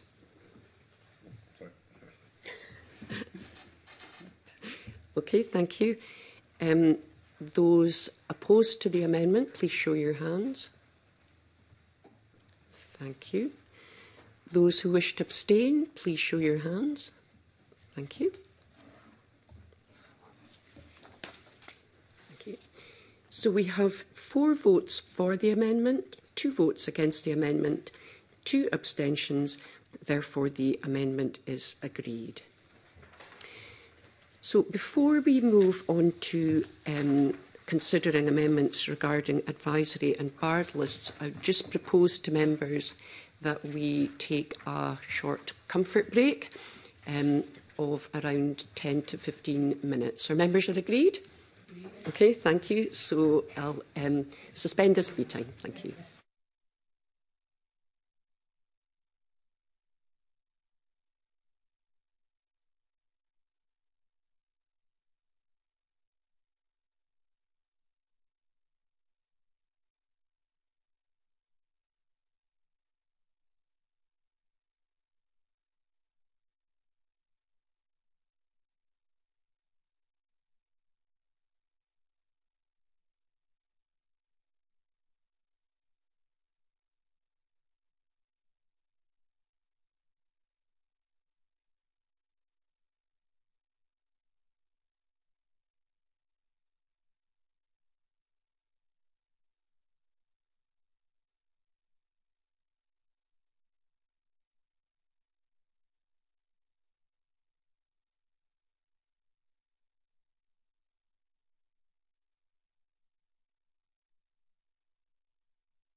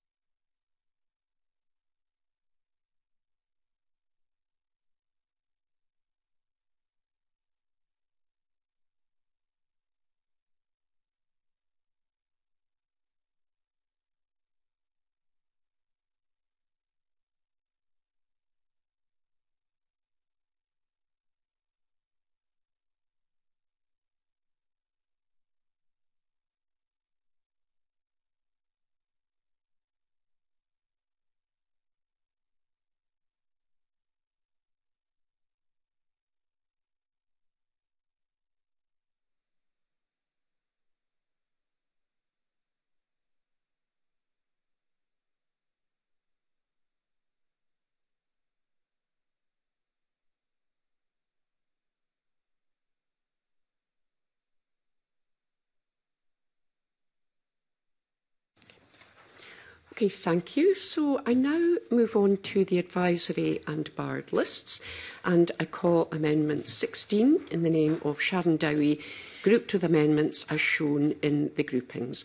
Sharon Dowie to move Amendment 16 and speak to all amendments in the group. Thank you, and I move Amendment 16.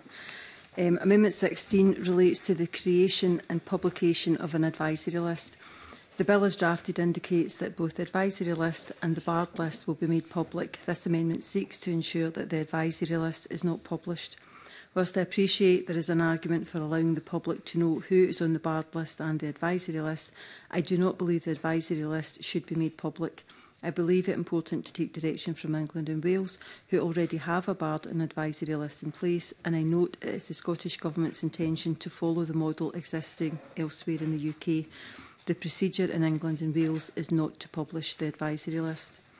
Amendment 17 considers people groups and groups that should consult the barred list before employing someone. The list includes the authority and police service in Scotland. The amendment will ensure that bodies where the information shared on the barred list is more crucial to them consider it. Currently, it is left up to Scottish ministers to decide who must consult in secondary legislation. I believe it could be prudent to have a set short list of people groups that must consult where the information in the barred list would be most relevant to them. Amendment 18 adds a further requirement to the advisory and barred list. It introduces a requirement for Scottish ministers to give notice to someone who is entered onto or removed from the barred list. This will ensure that people who are placed on these lists are kept informed of their placement. Amendment 19 further adds points about the advisory and barred list. It allows people to ask for a review of the decision to be entered on the advisory and barred list. It also makes it a requirement that to be able to ask for a review, the person must be engaging with the disciplinary process. It's important that people who have actively participated in the disciplinary proceedings are given the right to review the conclusion. Um, the rest of the amendments in the group are consequentials. And I'm pleased, I will mention the, the amendments again, but I'm pleased that the Cabinet Secretary has indicated the Government will support amendments 18, 20, 22, 23 and 24. Will support 17 if 21 is not pushed, and I will now not push that. And I look forward to the Cabinet Secretary's comments. Thank you. Okay, thank you very much. Would any other members like to come in? Okay, um, Cabinet Secretary. Uh, thank you, Convener. I'm pleased to say that some of these amendments in regards to the publishing and protecting of the advisory and barred list set out what the Scottish Government intended to do in regulation, so I can confirm to committee, as narrated by Ms Dowie, that I support amendments um, 18, 20, 22, 23 and 24. Amendment 17 sets out that the Scottish Police Authority, HMICS, Police Scotland and the Park are required to consult the advisory and barred lists before employing or appointing a person and I can only support that as long as the power to add uh, to that list is not removed uh, by Amendment uh, 21.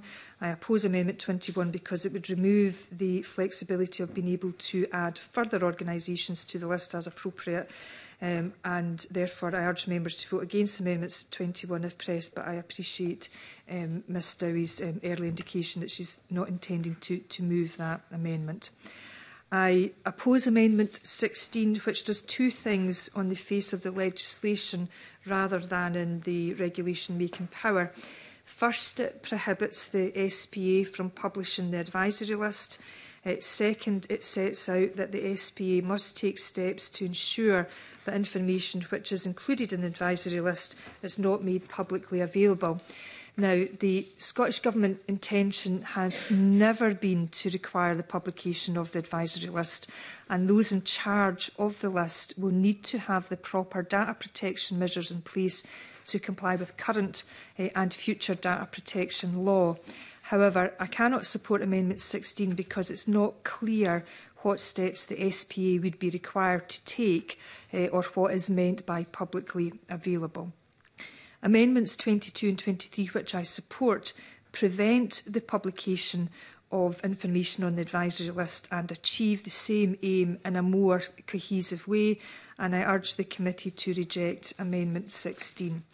Convener, I also oppose Amendments 19 and 59, and I urge the committee to also reject them. The bill sets out automatic conditions for entry onto the advisory list or the barred list allegations of gross misconduct warrant being included in the advisory list and a finding of gross misconduct warrants being included in the barred list. So there is not a decision to place the person on the barred or advisory list that can be reviewed. Uh, therefore, I oppose Amendment 19, which provides for a, a right of review of the decision to place a person on one of the lists. Amendment 19 is um, more problematic, even more problematic in qualifying the right to a review by reference to the person's engagement with the proceedings. Amendment 50 makes the same qualification in respect of disciplinary proceedings which have not concluded when a person ceases to be a constable. Both amendments uh, would require the setting out in legislation of a test as to what constitutes engagement with disciplinary proceedings, which would be extremely difficult to achieve without leaving the provision open to abuse. However, as the committee will note, the test is not set out in these amendments and therefore needs to be thought through, and I therefore urge members to oppose amendments 19 and 15. Thank you, Convener. Okay, thank you very much. So Sharon Dowie to wind up and press or withdraw Amendment 16.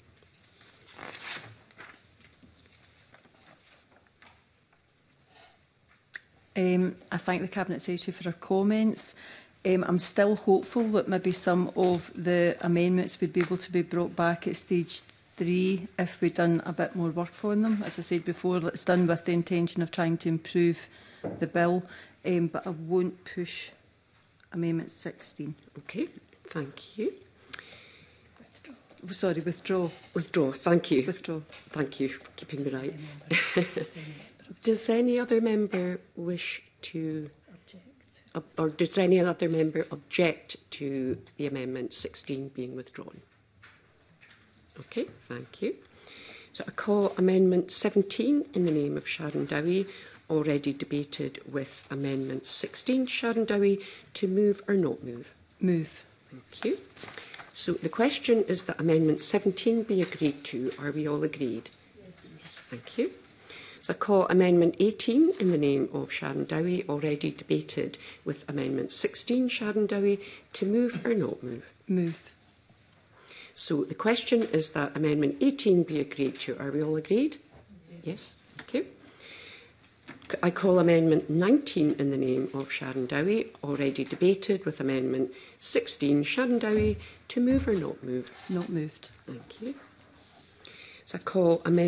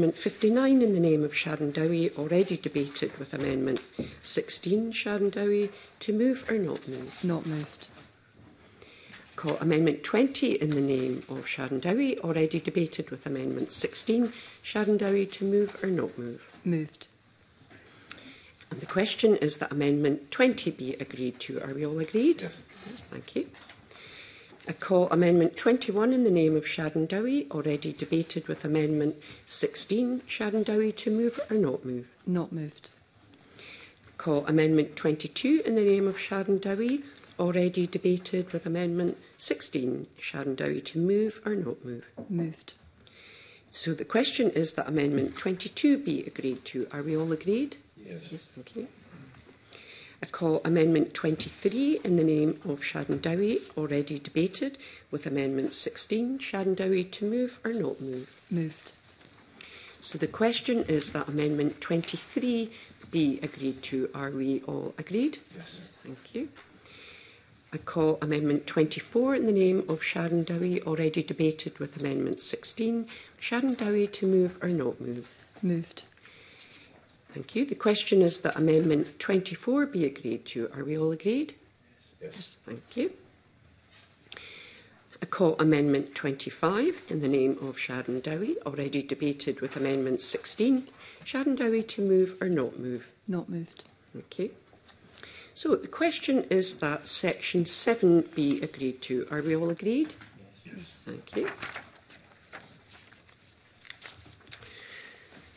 So I call amendments 26, 27, 28 and 29, all in the name of Sharon Dowie and all previously debated.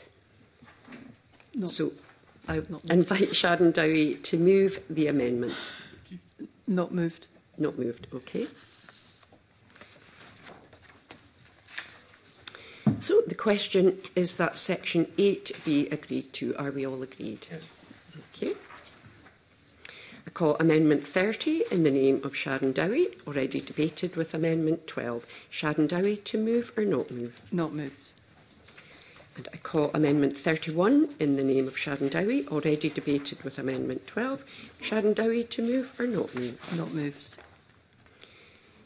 I call Amendment 32 in the name of Sharon Dowie, already debated with Amendment 12. Sharon Dowie, to move or not move? Not moved. Thank you. Okay, thank you. So we now move on to misconduct in public office. And I call Amendment 60 in the name of Russell Finlay, grouped with Amendment 61. Russell Finlay to move Amendment 60 and speak to both amendments in the group. Russell. Thank you, Convener. I move Amendment 60. Now, 60 and 61 are connected. They both seek to do something very similar in different ways, and I'm keen to hear the Cabinet Secretary's response to why I think they're necessary and whether if they're not practical, there might be a way of achieving a sort of practical agreement for a later stage. Um, what uh, number 60 does is, uh, and it's come about via representation from HMICS, who has already influenced some of today's proceedings, and it would seek to create an offence where an officer or police staff can face a charge of committing misconduct in public office.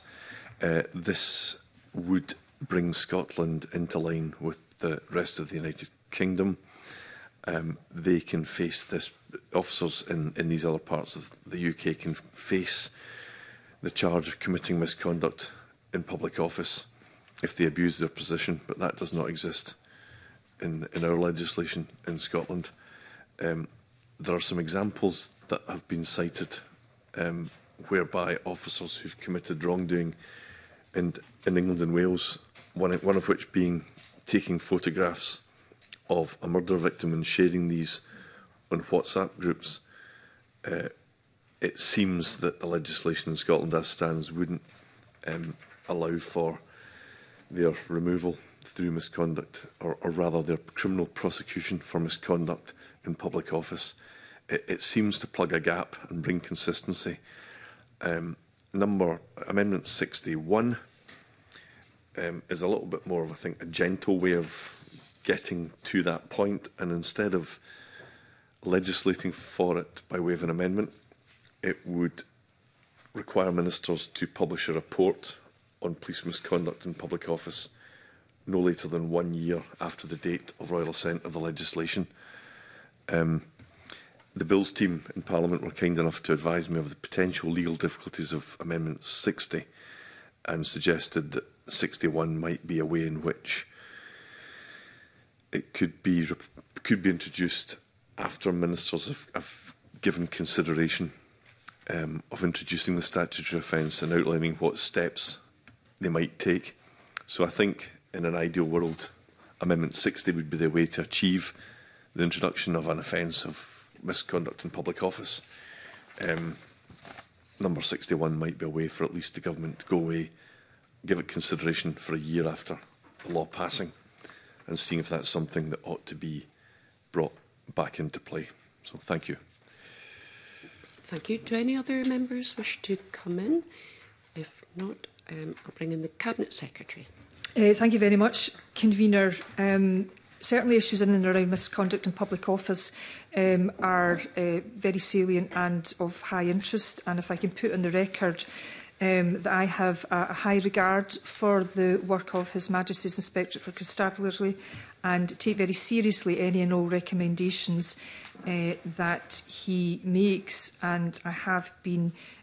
uh, looking into matters further as indicated in our earlier um, discussion. I am afraid, convener, that um, you know I can't uh, support either of these amendments, and I hope um, when I explain why that members will see the, the, the common sense for that um, at this time. Um, as Mr Russell said, Amendment 60 would um, require the introduction of a new law of misconduct in public office where the person in public office is a constable or police officer and to do so within a period of one year from the date of royal assent of the bill that we are discussing before us today. And as I said, I'm aware that um, His Majesty's Inspector of Constabulary in Scotland, Craig Naylor, um, called for the establishment of a misconduct and public office offence for police officers and staff who abuse their position, and he did so in his recent um, annual report. Mr Naylor eh, noted that officers south of the border can be charged with committing misconduct in public office at common law, uh, and it is said there is uh, no such offence in Scotland. Uh, so there is no legislation in England. It is um, on the basis of case law in England and Wales. There is a, a common law offence in Scotland of willful neglect of duty by a public official. This covers some um, of the same ground as the misconduct in public office offence um, in England and Wales.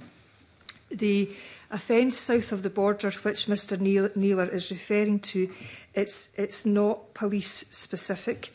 It has been widely considered to be ill defined, has been subject to criticism by the UK government, the Court of Appeal, and legal academics. As such, the, the Law Commission for England and Wales uh, undertook a project in 2012, culminating in the Law Commission concluding that two new statutory offences were merited to replace the common law offence. And this report was published in late 2020, and there was no action taken by the then UK government. So I would, um, with respect, uh, note that um, Mr Finlay is demanding that the Scottish Government legislate in one year um, on this new offence, including all of the consultation and engagement uh, that would need to take place on what is a sensitive area uh, when the previous government uh, did not do this in four years um, in relation to their laws. However, of course. Yep. Uh, I understand the point the Cabinet Secretary makes in respect of Amendment 60, but does 61 therefore not give the Scottish Government time to do this properly? So I'm going to come on to some of the, the, the broader reasons and the, and the broader um, landscape that I hope, I hope is uh, helpful. So I am aware, convener, that the new UK government is giving consideration to a new offence which will apply to all public officials Um, and members may wish to note that the Law Commission recommendations include inclusions of several categories in devising the list of public office holders, which are well beyond policing roles. And if I can just give um, a little bit more um, detail. So, um, what what they are, uh, what the UK government is um, considering is that. Um, it, this would not just apply to the police, but it could it would include, but not limited to, Crown servants, including ministers of the Crown, any person employed in the civil service of the Crown, any constable and any other person employed or appointed in for the purpose of any police force, elected officials and their employees and members of parliament. And I suppose the question that we may be challenged with is uh, why are we starting with the police and not uh, the politicians? So there is a, um, a broad consideration um, being given um, to this matter um, at um, a UK level. Um, which, of course, this government will, you know, um, engage with um, as, as appropriate. Um, if, if the offence were to be created in this bill, it would apply to constables only, uh, resulting in piecemeal legal reform and singling the police out as the only public office holders where this should apply when a principal view would suggest that other holders of public office should be equally liable uh, for misconduct. And, and as I said, convener, my officials will work with the UK government officials um, on this topic. So turning to Amendment 61, this would require the Scottish Government ministers, sorry, the Scottish ministers to report on misconduct in public office within one year of royal assent. In particular, whether there should be a statutory offence for misconduct in public office for the police, and if so, what steps will be taken. Um, and that is, uh, in my view, not the way to, to make this legislation, which um, in theory could cut across um, a whole range of public offices. And of course, the police me uh, rightly raise the issue as to why we are singling singling them out. There is, I, I think, in all fairness, much to be done in this area uh, following a series of inquiries and reviews. Uh, but these amendments are using a specific bill about the police to, in my view, enact piecemeal and knee-jerk change rather than a proper consultation and consideration and a mature and coordinated approach to law reform um, in this area for all public office holders. So I would urge members to oppose Mr Finley's uh, Amendments 60 and 61, um, but I do um, appreciate um, his interest in this, in this area because I do think it is uh, important for standards in public life. Thank you. Russell Finlay to wind up yeah. and press or withdraw Amendment 6. Thank you, Convener. The Cabinet Secretary made a, opening remarks an appeal for common sense, which is good news because I'm big in common sense. So uh, I heard everything she had to say. I wasn't aware of the fact there was a um, willful neglect of duty by a public official offence in Scotland that is some ways comparable.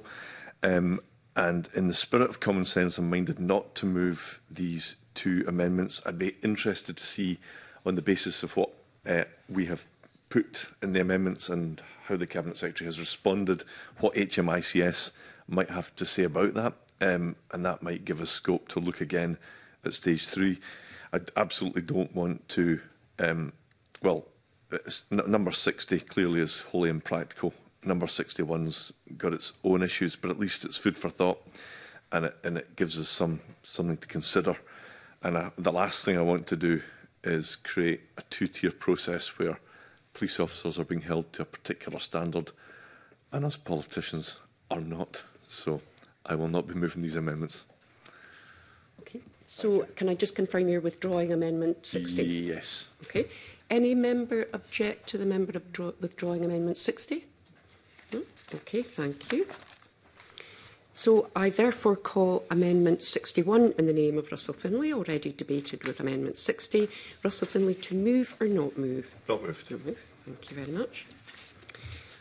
Okay, so now we move on to body-worn cameras, and I call Amendment 62 in the name of Russell Finlay in a group on its own. Russell Finlay to move and speak to Amendment 62. Thank you again, Convener. Um, I move Amendment 62, and I understand this might look a little bit potentially out of place, but we've been told by the Scottish Government, by the SPA and by Police Scotland that Scotland's police officers are finally about to start being required to, to wear body-worn cameras as standard.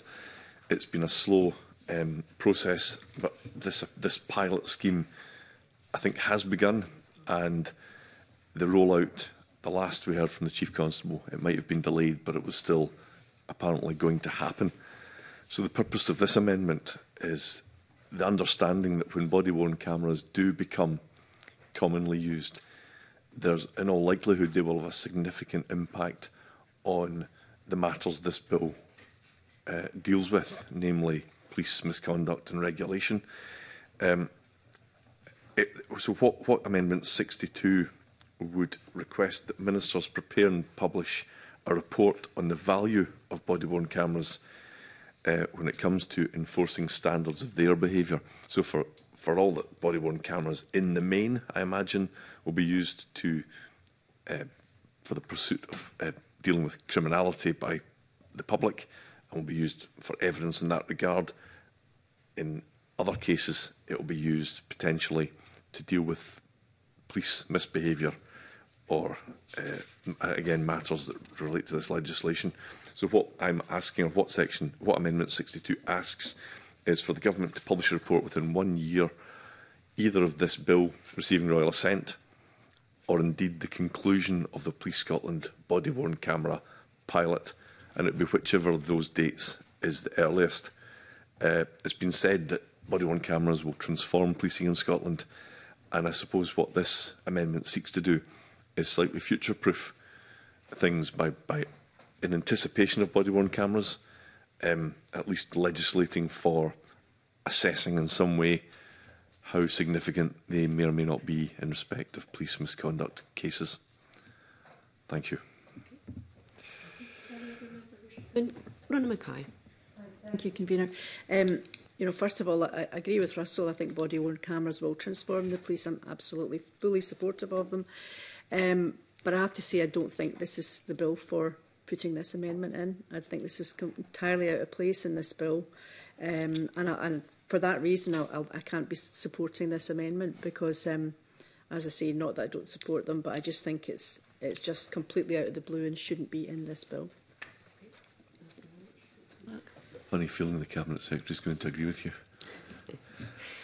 okay. Any other members wish to come in? If not, um, cabinet secretary.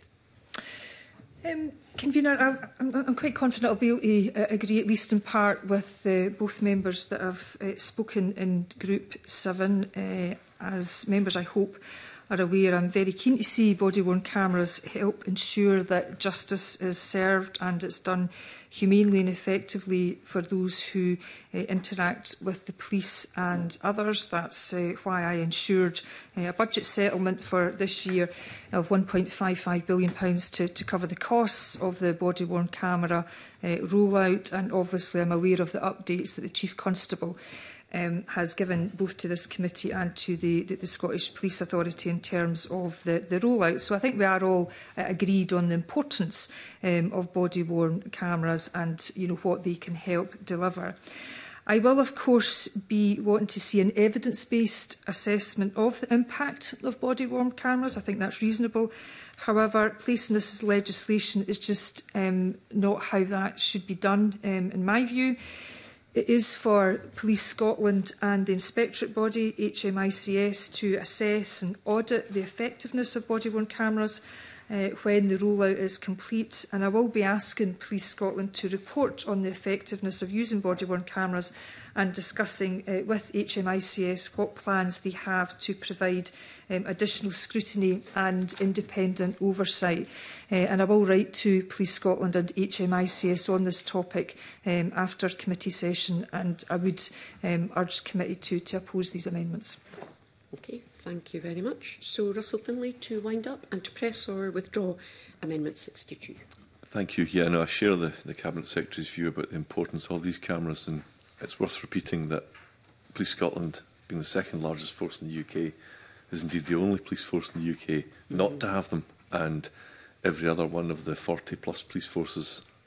not only have had them for many, many years, but are on to second, in some cases, third generation technology. And it is a been a complete failing in my, in my view. Um, I agree that um, there will be a role, fundamental role of both Police Scotland, the SPA, and indeed the HMICS in assessing body-worn cameras as and when they're in use. Uh, and on the basis of um, the reasons given, I will not move this amendment at this stage. Okay, so can I just confirm you're withdrawing the amendment? Withdrawing, thank okay, you. thank yep. you. Any member object to the amendment being withdrawn? No? Okay, thank you. So the question is that sections 9 and 10 be agreed. Are we all agreed? Yes. Okay.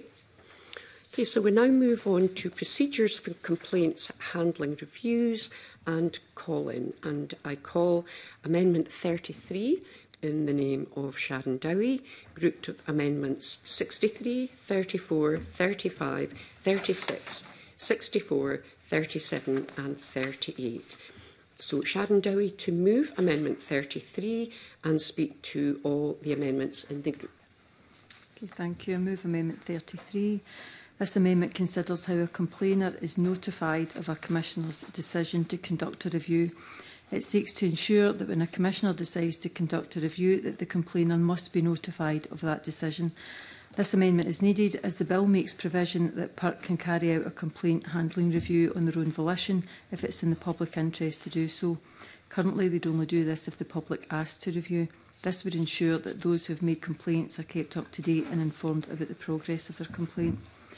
Amendment 36 considers the information the Commissioner has access to during their investigation seeks to ensure regulations are made which would allow a commissioner to require a relevant person to provide documents which they believe will assist in the investigation of the complaint.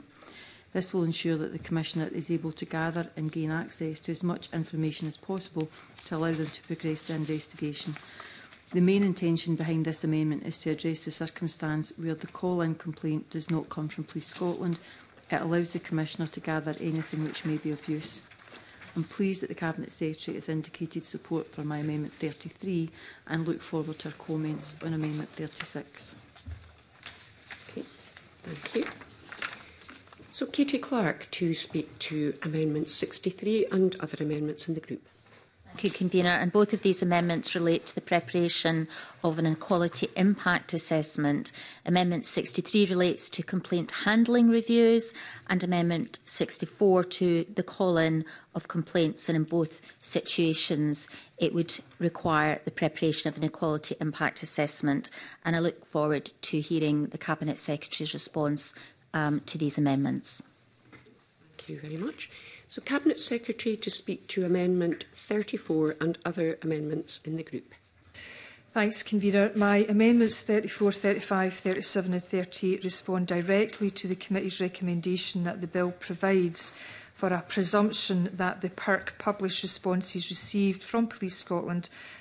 or the SPA unless there are exceptional circumstances. As currently drafted, Section 11 allows the PERC to carry out a complaint handling review in the absence of a request made by the complainer or appropriate authority if this is in the public interest. Additionally, the provisions give the PERC a discretion to publish the responses from Police Scotland or the SPA to recommendations made by the PERC as soon as is reasonably practicable. Amendments 34 and 35 um, will provide greater transparency by replacing the PERP's discretion to publish responses with a duty to publish whilst ensuring that no information which would identify an individual other than the Chief Constable or prejudice an ongoing criminal investigation is published and allowing the PERC to withhold the whole or part of a response if PERC considers it is in the public interest not to disclose it. Uh, this will therefore mean there is a presumption for the PERC to publish responses.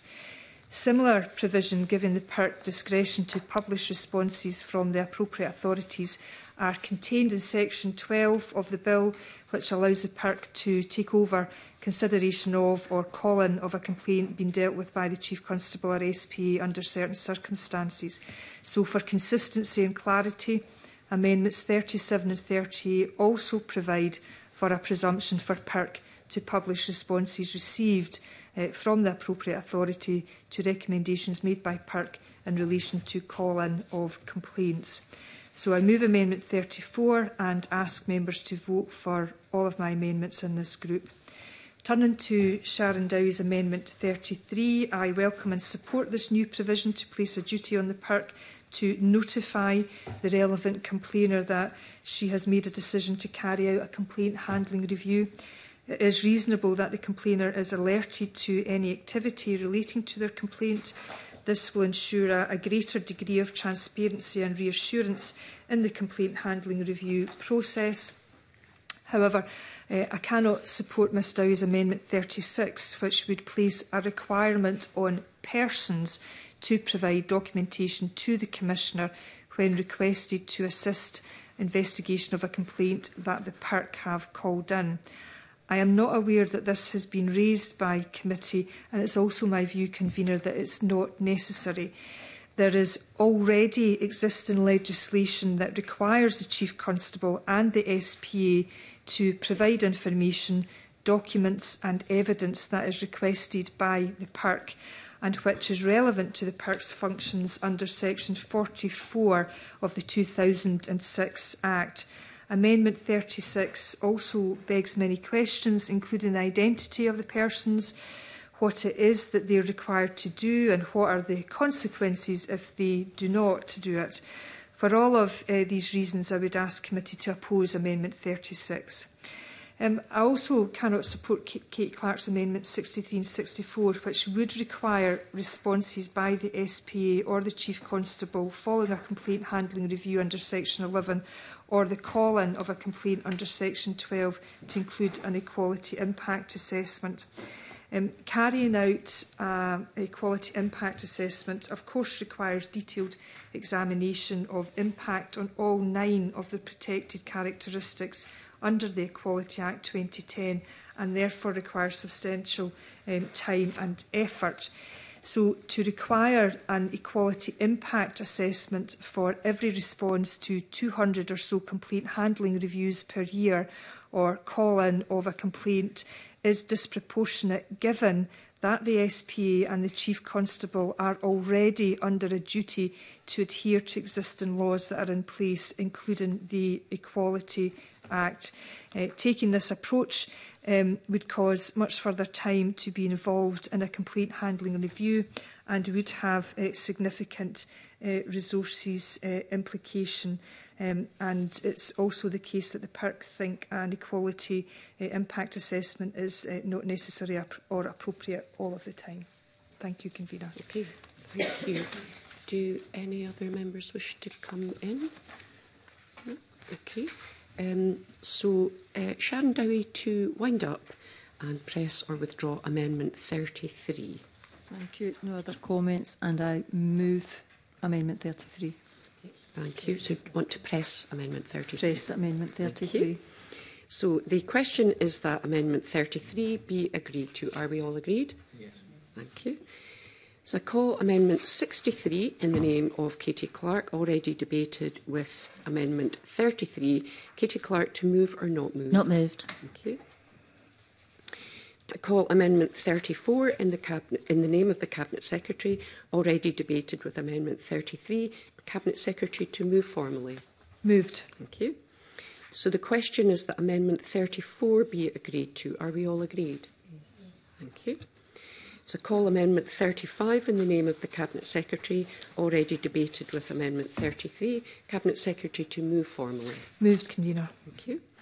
Question is that Amendment 35 be agreed to. Are we all agreed? Yes. yes.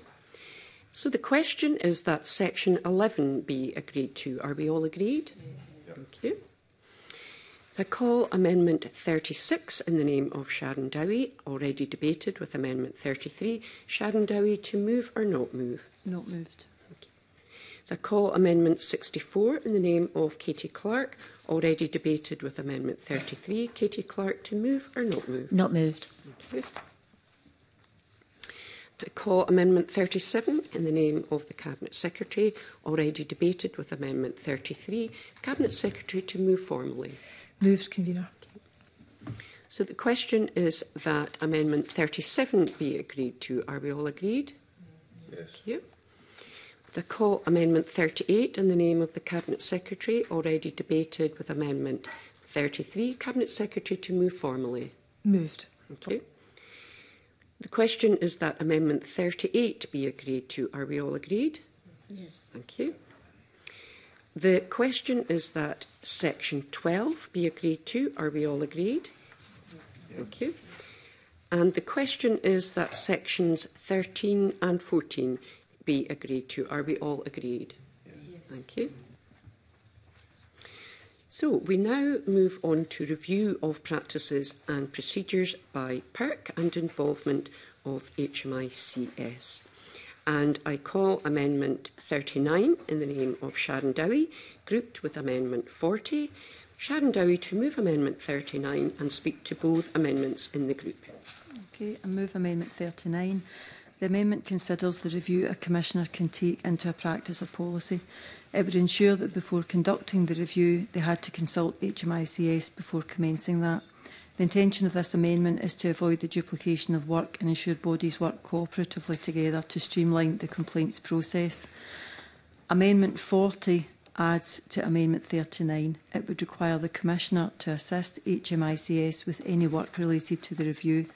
The intention of this amendment is to again avoid duplication of work and ensure bodies work cooperatively together to streamline the complaints process. Um, this is a role that does sit with HMICS and the Cabinet Secretary has given earlier indication that she would support Amendment 39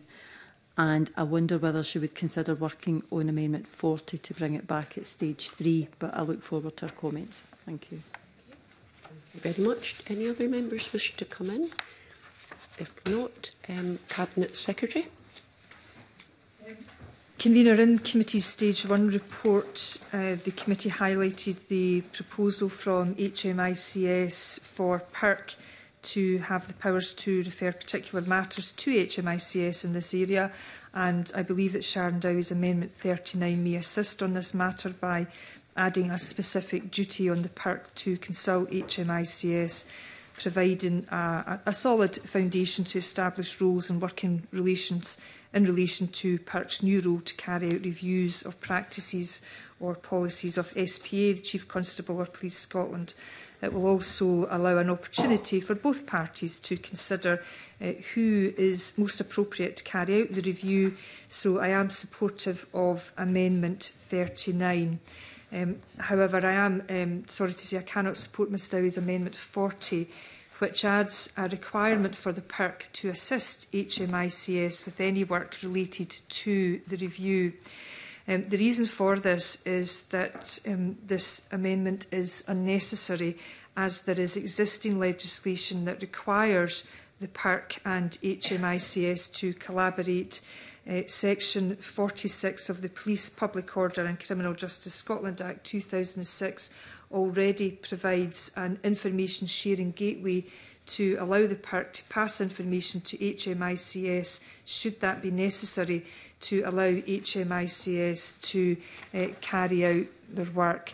Um, furthermore, there is a duty uh, for the park and HMICS to cooperate and coordinate activity with each other to improve how they carry out their functions uh, and to work together to prevent any unnecessary duplication under sections 85 of the 2012 Act and a memorandum of understanding is in place which helps uh, bring this into uh, effect um, and uh, I also am informed that PERC is not supportive of Amendment 40 either for the aforementioned reasons and therefore I would urge the committee to oppose Amendment 40. Okay, thank you Cabinet Secretary. So Sharon Dowie to wind up and press or withdraw Amendment 39. Thank you. Given the Cabinet Secretary's comments, I won't be moving Amendment 40, but I will be moving Amendment 39. Thank you. Okay, thank you. So the question is that Amendment 39 be agreed to. Are we all agreed? Yes. Thank And I call Amendment 40 in the name of Sharon Dowie, already debated with Amendment 39. Sharon Dowie, to move or not move? Not moved. Thank you. So the question is that section 15 be agreed to. Are we all agreed? Thank you. And the question is that sections 16 and 17 be agreed to. Are we all agreed? Yes. Thank you. Okay, thank you. So you'll now be glad to hear we move on to our final grouping um, on reports by PERC. And I call Amendment 66 in the name of Russell Finlay, grouped with Amendment 67. Russell Finlay to move Amendment 66 and speak to both amendments in the group. Thank you. And I think it might be the second last grouping. I don't want to correct the convener, but I saw the clerks were getting quite animated. Um, so. Um, but it mistake. Yes, okay. just trying to just for the record. hopes up. Right, so yeah, no, the reason we're here is because Dame Elish Angelini, or Lady Angelini, she's now known, produced a 488-page report with 111 recommendations identifying weaknesses in the police complaints and regulation system in Scotland. Uh, and one of the fundamental asks that she uh, made was that the Police Investigation and Review Commissioner should be answerable uh, to the Scottish Parliament not to Scottish ministers as it currently is. Um, she said uh, that it should be accountable to the Parliament and the committees of the Parliament. Uh, and my party certainly agrees with this recommendation and believes that it should be reflected in the bill. I understand from the various correspondence we've had with the Cabinet Secretary that she doesn't support this recommendation um, on the basis if I understand it correctly, that she thinks that Perk can already be held to account through Scottish ministers, ministers who are ultimately accountable to Parliament. Uh, but we think, for consistency with what Angelini calls for, we should make that quite clear and we should change that dynamic and make Perk answerable directly to Parliament. That's Amendment 66. Amendment 67 um, maybe attempts to do this in a slightly different way. Um, as things stand, uh, ministers have, uh, let me get this right, I'll try and phrase this correctly. Ministers have the op option to require all reports to be laid before Parliament, as in PERC reports. Um, and I think Amendment 67 would remove that discretion.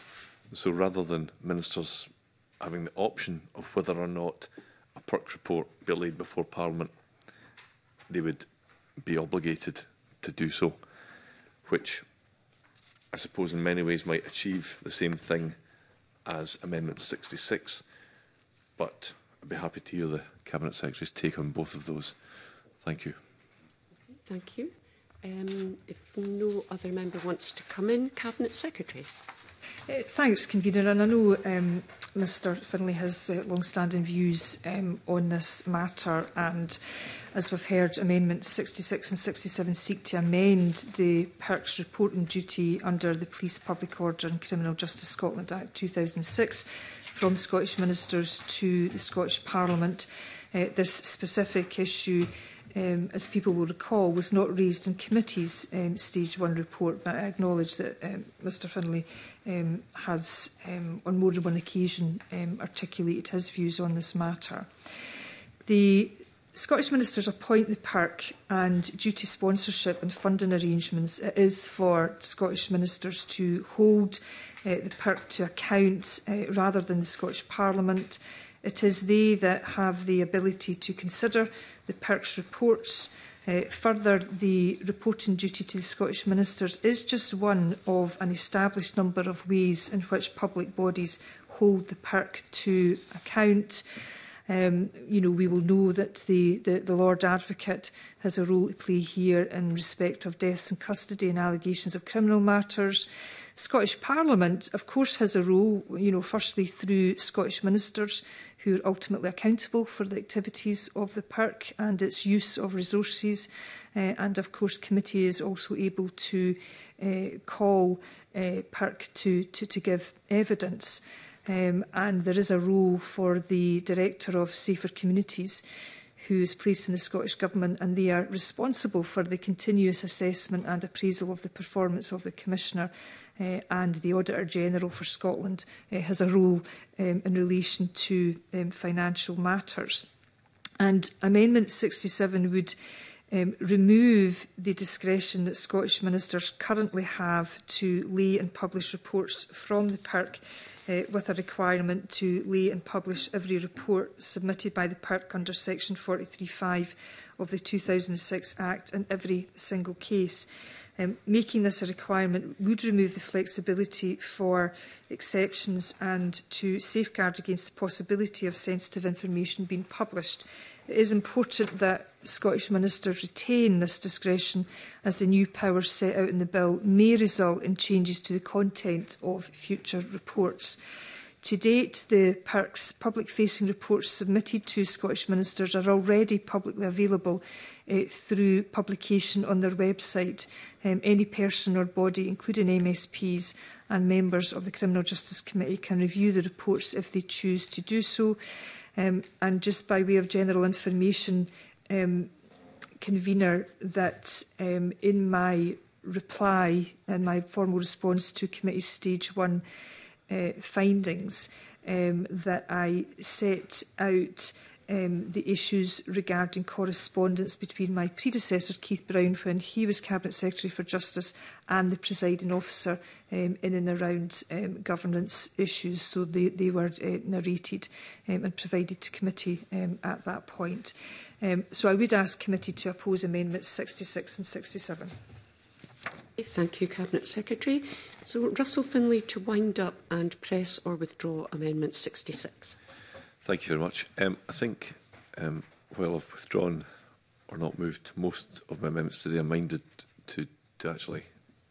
uh, put this to a vote if necessary because Angelini, um, for all that she made a, a large number of recommendations, most of which were non-legislative and on the face of it relatively minor, this one I think is kind of fundamental to what she was tasked with, looking at the entire picture and she saw this as a weakness. It's worth putting on the record that she didn't expect um, Perk would still be accountable to the Crown Office for criminal matters, and this is entirely for operational matters relating to non-criminal issues. So it just seems like a bit of sensible housekeeping. Uh, I don't. I've not really been persuaded for the reasons against, I think there's some practical things that could quite readily be overcome if the government was so minded. So I think I will put this to vote. Thank you. Okay, so you'd like to press the amendment. Yes. Okay. So the question is that Amendment 66 be agreed to. Are we all agreed? No. Yes. Okay, thank you. So in that case, we are not agreed. Uh, can members who support the amendment show their hands? All members who are opposed to the amendment show their hands. Okay, thank you. So we have um, four votes for the amendment, four votes against the amendment, so there's an equality of votes. Therefore, as convener, I will use my casting vote and vote against the amendment. So the amendment is therefore not agreed. So I call Amendment 67 in the name of Russell Finlay, already debated with Amendment 66. Russell Finlay, to move or not move? Moved. Okay. The question is that Amendment 67 be agreed to. Are we all agreed? No. Yeah. Okay. We are not agreed. So members who wish to support the amendment, please show your hands. Those who disagree with the amendment, show your hands. with no abstentions. So we have four votes for the amendment, four votes against the amendment. So there's an equality of votes. Therefore, as convener, I will use my casting vote and vote against the amendment. So the amendment is therefore not agreed.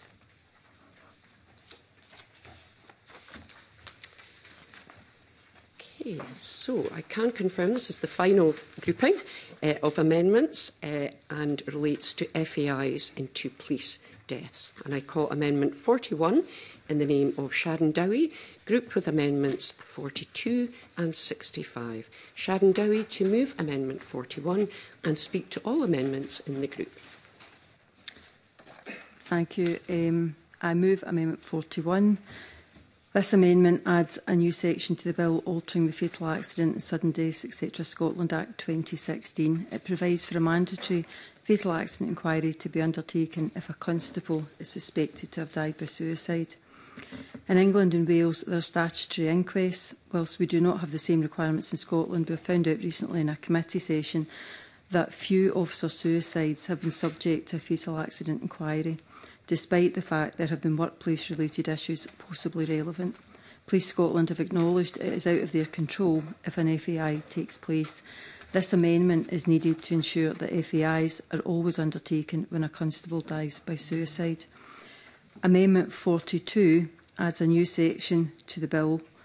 Um, it provides for mandatory FAI to be undertaken if a constable again has died by suspected suicide. It furthers Amendment 41 by allowing for a mandatory FAI to be undertaken if the family of the deceased request a FAI. I think on this one, the police go out every single day. Um, they don't know what they're going to face. Um, they can be faced with circumstances that none of us would want to be involved in. So whether that be the death of a child, a murder, road traffic accidents, they, they face a lot of traumatic situations. And I think bringing in a fatal accident inquiry, if there is thought to be a,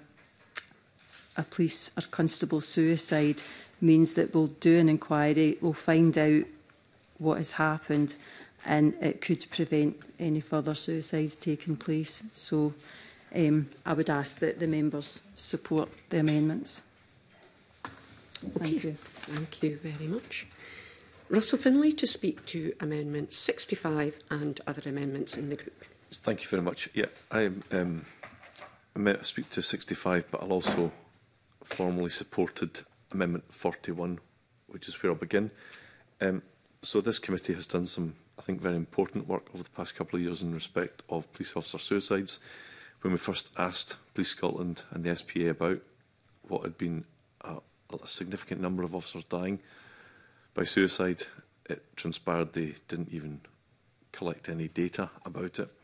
There were families and friends of officers who died who I've been working with who know that um, the police complaints process that they were subject to, they believe, was a factor in the death of their loved one. And for all that suicide is complex, and they were not um, assigning that as the sole reason what struck me, and I think what struck the committee, was when we asked Police Scotland and the SPA about this, not only did they not appear to count or record uh, data, they, there was also a, what struck me has been a fairly strange lack of curiosity, and, and that might be due partly to the fact suicide, the sensitivities around suicide, which is perfectly understandable. But in some cases, I couldn't help but avoid the suspicion that sometimes it was to do with the fact there were sensitivities around the way in which the complaints process, the protracted nature of the complaints process, the lack of transparency, and so on, may have been a factor and would have reflected bad on them as an organisation. So, what this would seek to do, uh, Amendment um, 41 would make it a statutory obligation for the suspected suicide uh, of a police officer to be subject to a fatal accident inquiry.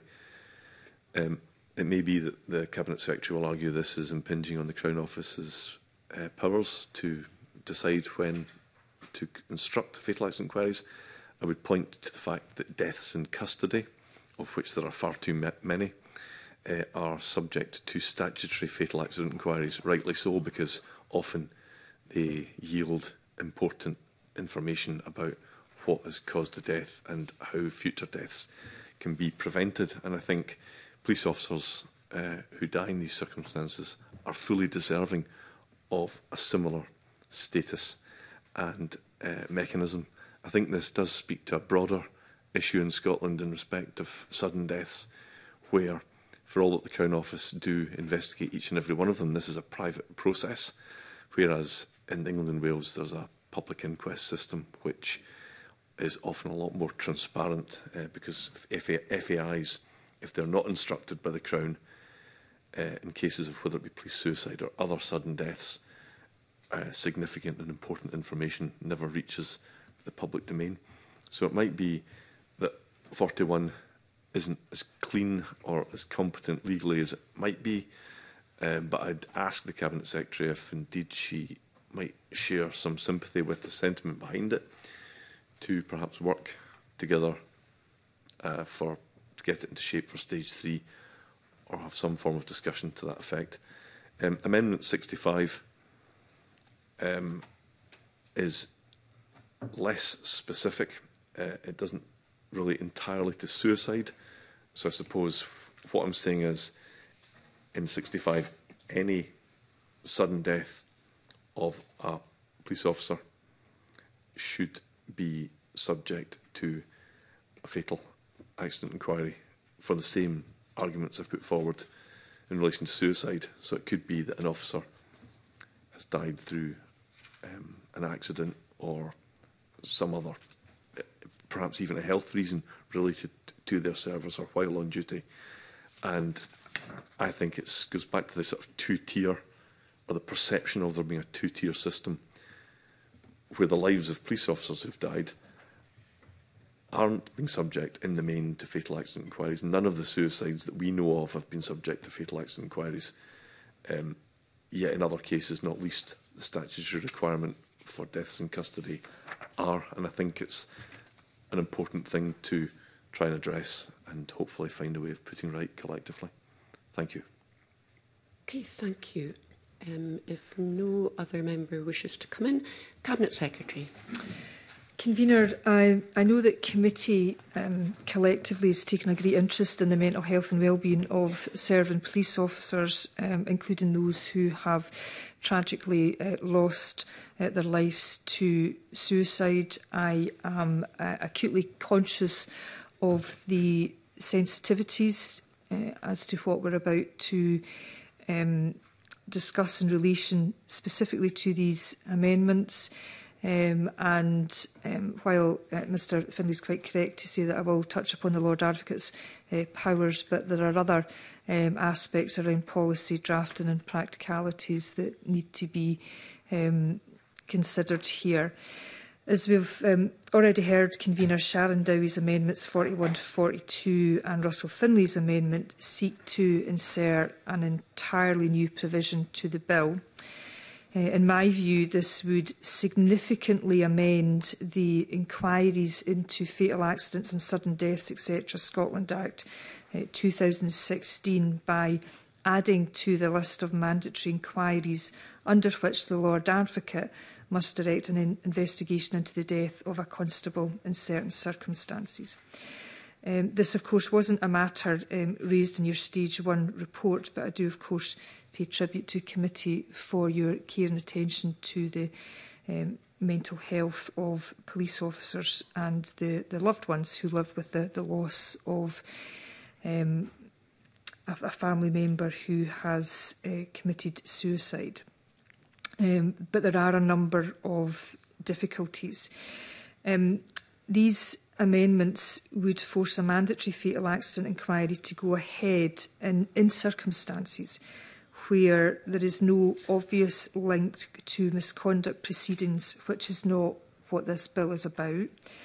Under the 216 Act, the Lord Advocate already has considerable flexibility to instruct a discretionary fatal accident inquiry where the consider the death was sudden, suspicious, or unexplained, or occurred in circumstances given rise to serious public concern, and where they decide that it's in the public interest for an inquiry to be held into the circumstances of the death.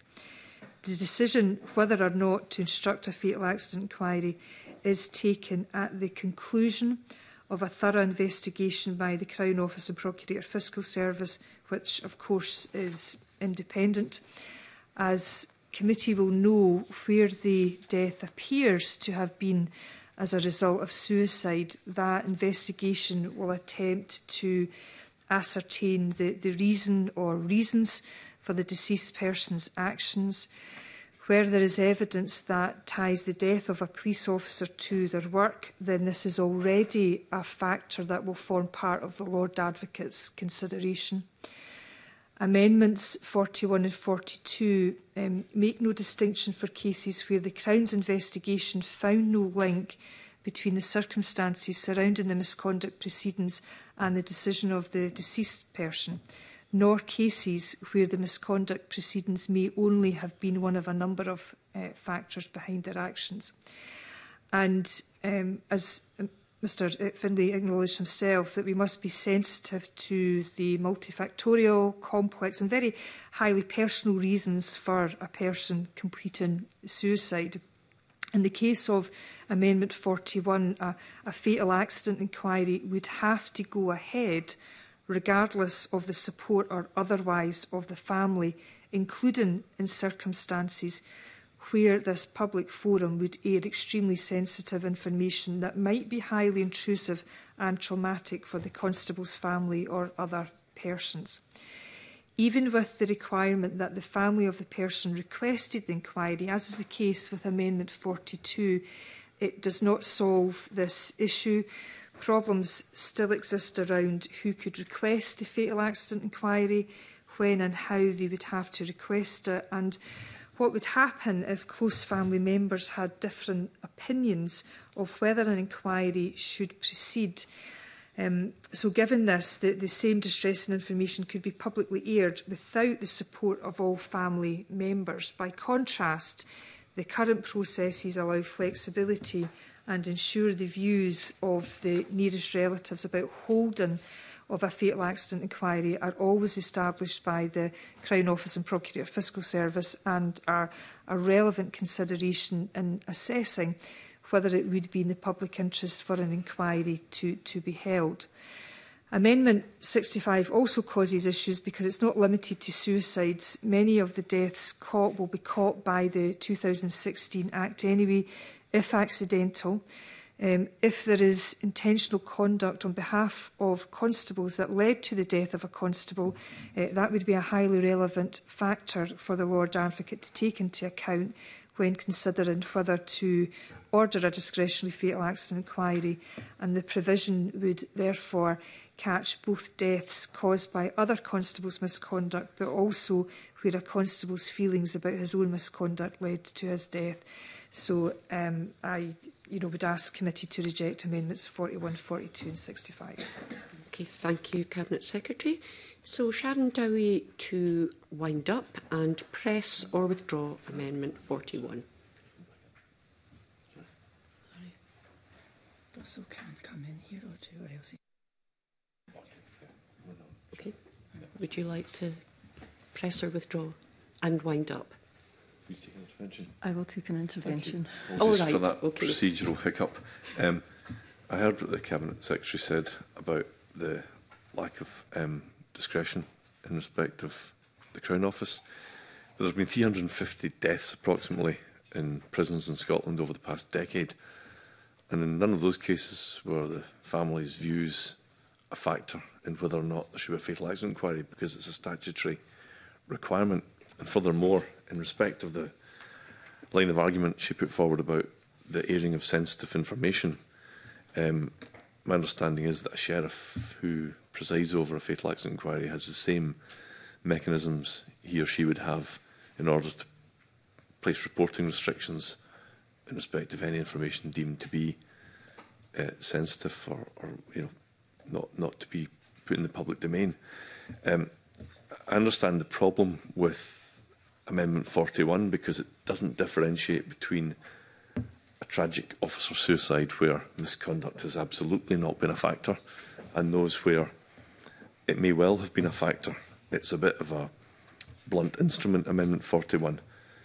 Um, I just wonder whether there might be a way of working with the government to come forward with an amendment whereby if the Crown in its initial investigation of the circumstances found the possibility of police misconduct or regulation issues perhaps being a factor in that death, that would then trigger the requirement for a fatal accident inquiry because there has been a failing of the SPA and Police Scotland to look properly at the circumstances of deaths that we know about.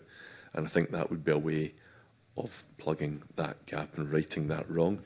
In respect of um, number 67. Um, I also agree, I understand the, the problem with that.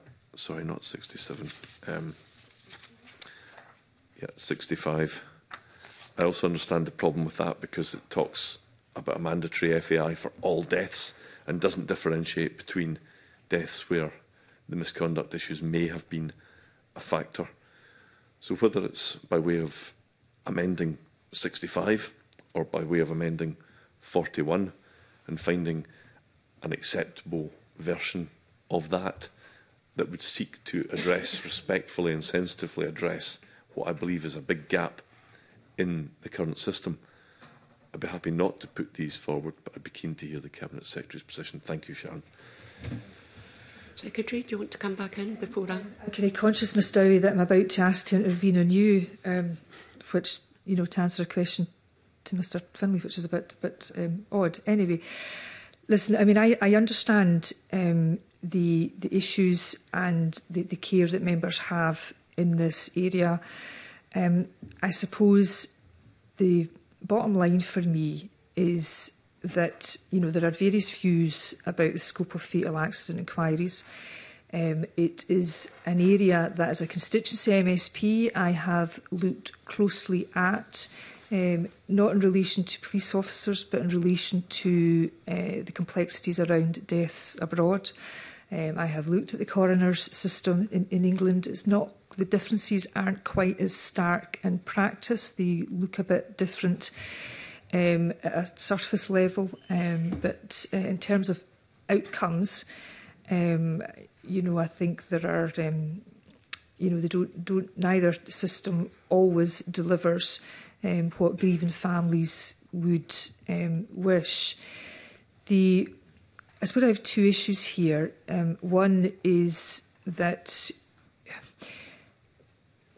and I, I, I don't want to sound um, clumsy or, or, or disrespectful, but there is no there is no short route to changing fatal accident inquiries process through the back door through another bill. It It is a less than complete way to, to address matters. It's a less than satisfactory way to address um, matters. Um, this is an area that would require, um, you know, much more in-depth, you know, consultation and scrutiny. And, you know, there are um, tragedies that happen in many professions um, whether that's you know people who work in the health service who take their lives. Um, I've certainly known um, you know a number of the social work colleagues who have um, taken their lives. I mean, suicide uh, stretches far and wide and touches, you know, will have touched everybody in this room in some um, shape or form. And it's we then could get into unforeseen difficulties in the very under, understandable desire to address this issue in and around serving police constables um, that may um, you know, be, be less than satisfactory in terms of the outcome because we're not doing it in the context of a, a wider review of fatal accident um, inquiries. Um, and I'm cognisant that there are um, many uh, other professions um, that you know stand in the line of duty um, and who whose mental health also uh, suffers. So, I my, my view remains the same um, in that. Um, this is a much wider issue, and a, a, you know, irrespective of your views on the merits or otherwise of the current legislation, um, it's a much bigger piece of work than trying to rectify matters via amendments uh, to uh, a very specific bill. And if I can say that with, um, of course, um, respect um, and, you know, very, very conscious that this is, you know, a matter that, you know, cut, cuts to the core, cuts deep for many families. Okay, thank you for that. Um, Sharon Dowie, So if I can just ask you to wind up and press or withdraw Amendment 41. Yeah, thank you. I agree with the comments that have uh, been made by my colleague Russell Finlay. I also take on board all the comments that the Cabinet Secretary has made and it is a very, very sensitive subject. I think us bringing it into this bill were due to some of the comments about the stress and anxiety felt by officers when they were going through the misconduct process and that could have been a contributing factor that could have led to suicide, and that's why we were looking at trying to put amendments into the bill as well. So, um,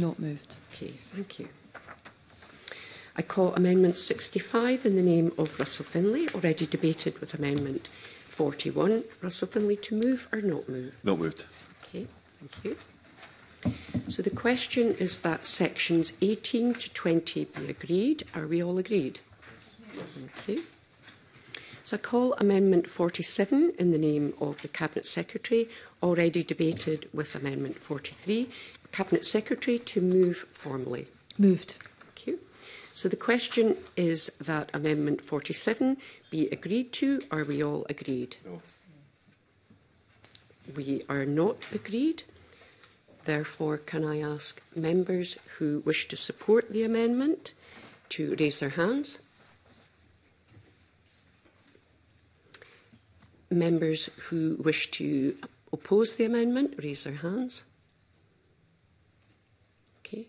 Any members who wish to abstain, please raise your hands. Thank you. Okay, thank you. So we have four votes for the amendment, two votes against the amendment, two abstentions. Therefore, the amendment is agreed. And that ends our stage two consideration. Oh, sorry, before we finish, the question is that the long title be agreed. Are we all agreed? Yes. Okay, thank you. So that ends stage two consideration of the bill. Can I thank the Cabinet Secretary and her officials for attending this morning? Can I just, before everybody dashes off, uh, make a couple of comments? We meet again on Wednesday, the 9th of October, where we'll consider two SSIs extending temporary measures brought in during the COVID pandemic, and we will also carry on with our pre-budget scrutiny. Eh, and I'm sure it hasn't passed anybody by that this is our colleague Russell Finlay's final uh, meeting following his appointment as leader of the Scottish Conservatives. So I just want to put it on the record uh, and extend our thanks uh, to his uh, robust contribution uh, over the last three and a half years. Uh, we will miss that uh, and we wish you well, I think, uh, in your new role. Thanks very much for your, well, all your contributions. No, th thank you very much. And no cake, I see, but that's fine. Um, I've uh, learned. I've, I've, I've, I've learned a lot uh, in this committee in the past three and a half years, and I'm extremely grateful for the opportunity to work with you all. And it just shows that actually we can, you know, forget party uh, allegiances sometimes and work for the common good. And of course, I can't thank the committee without thanking the clerks, who, of course, we all know actually run the show. So thank you very much. okay. And with that, I close this meeting. Thank you.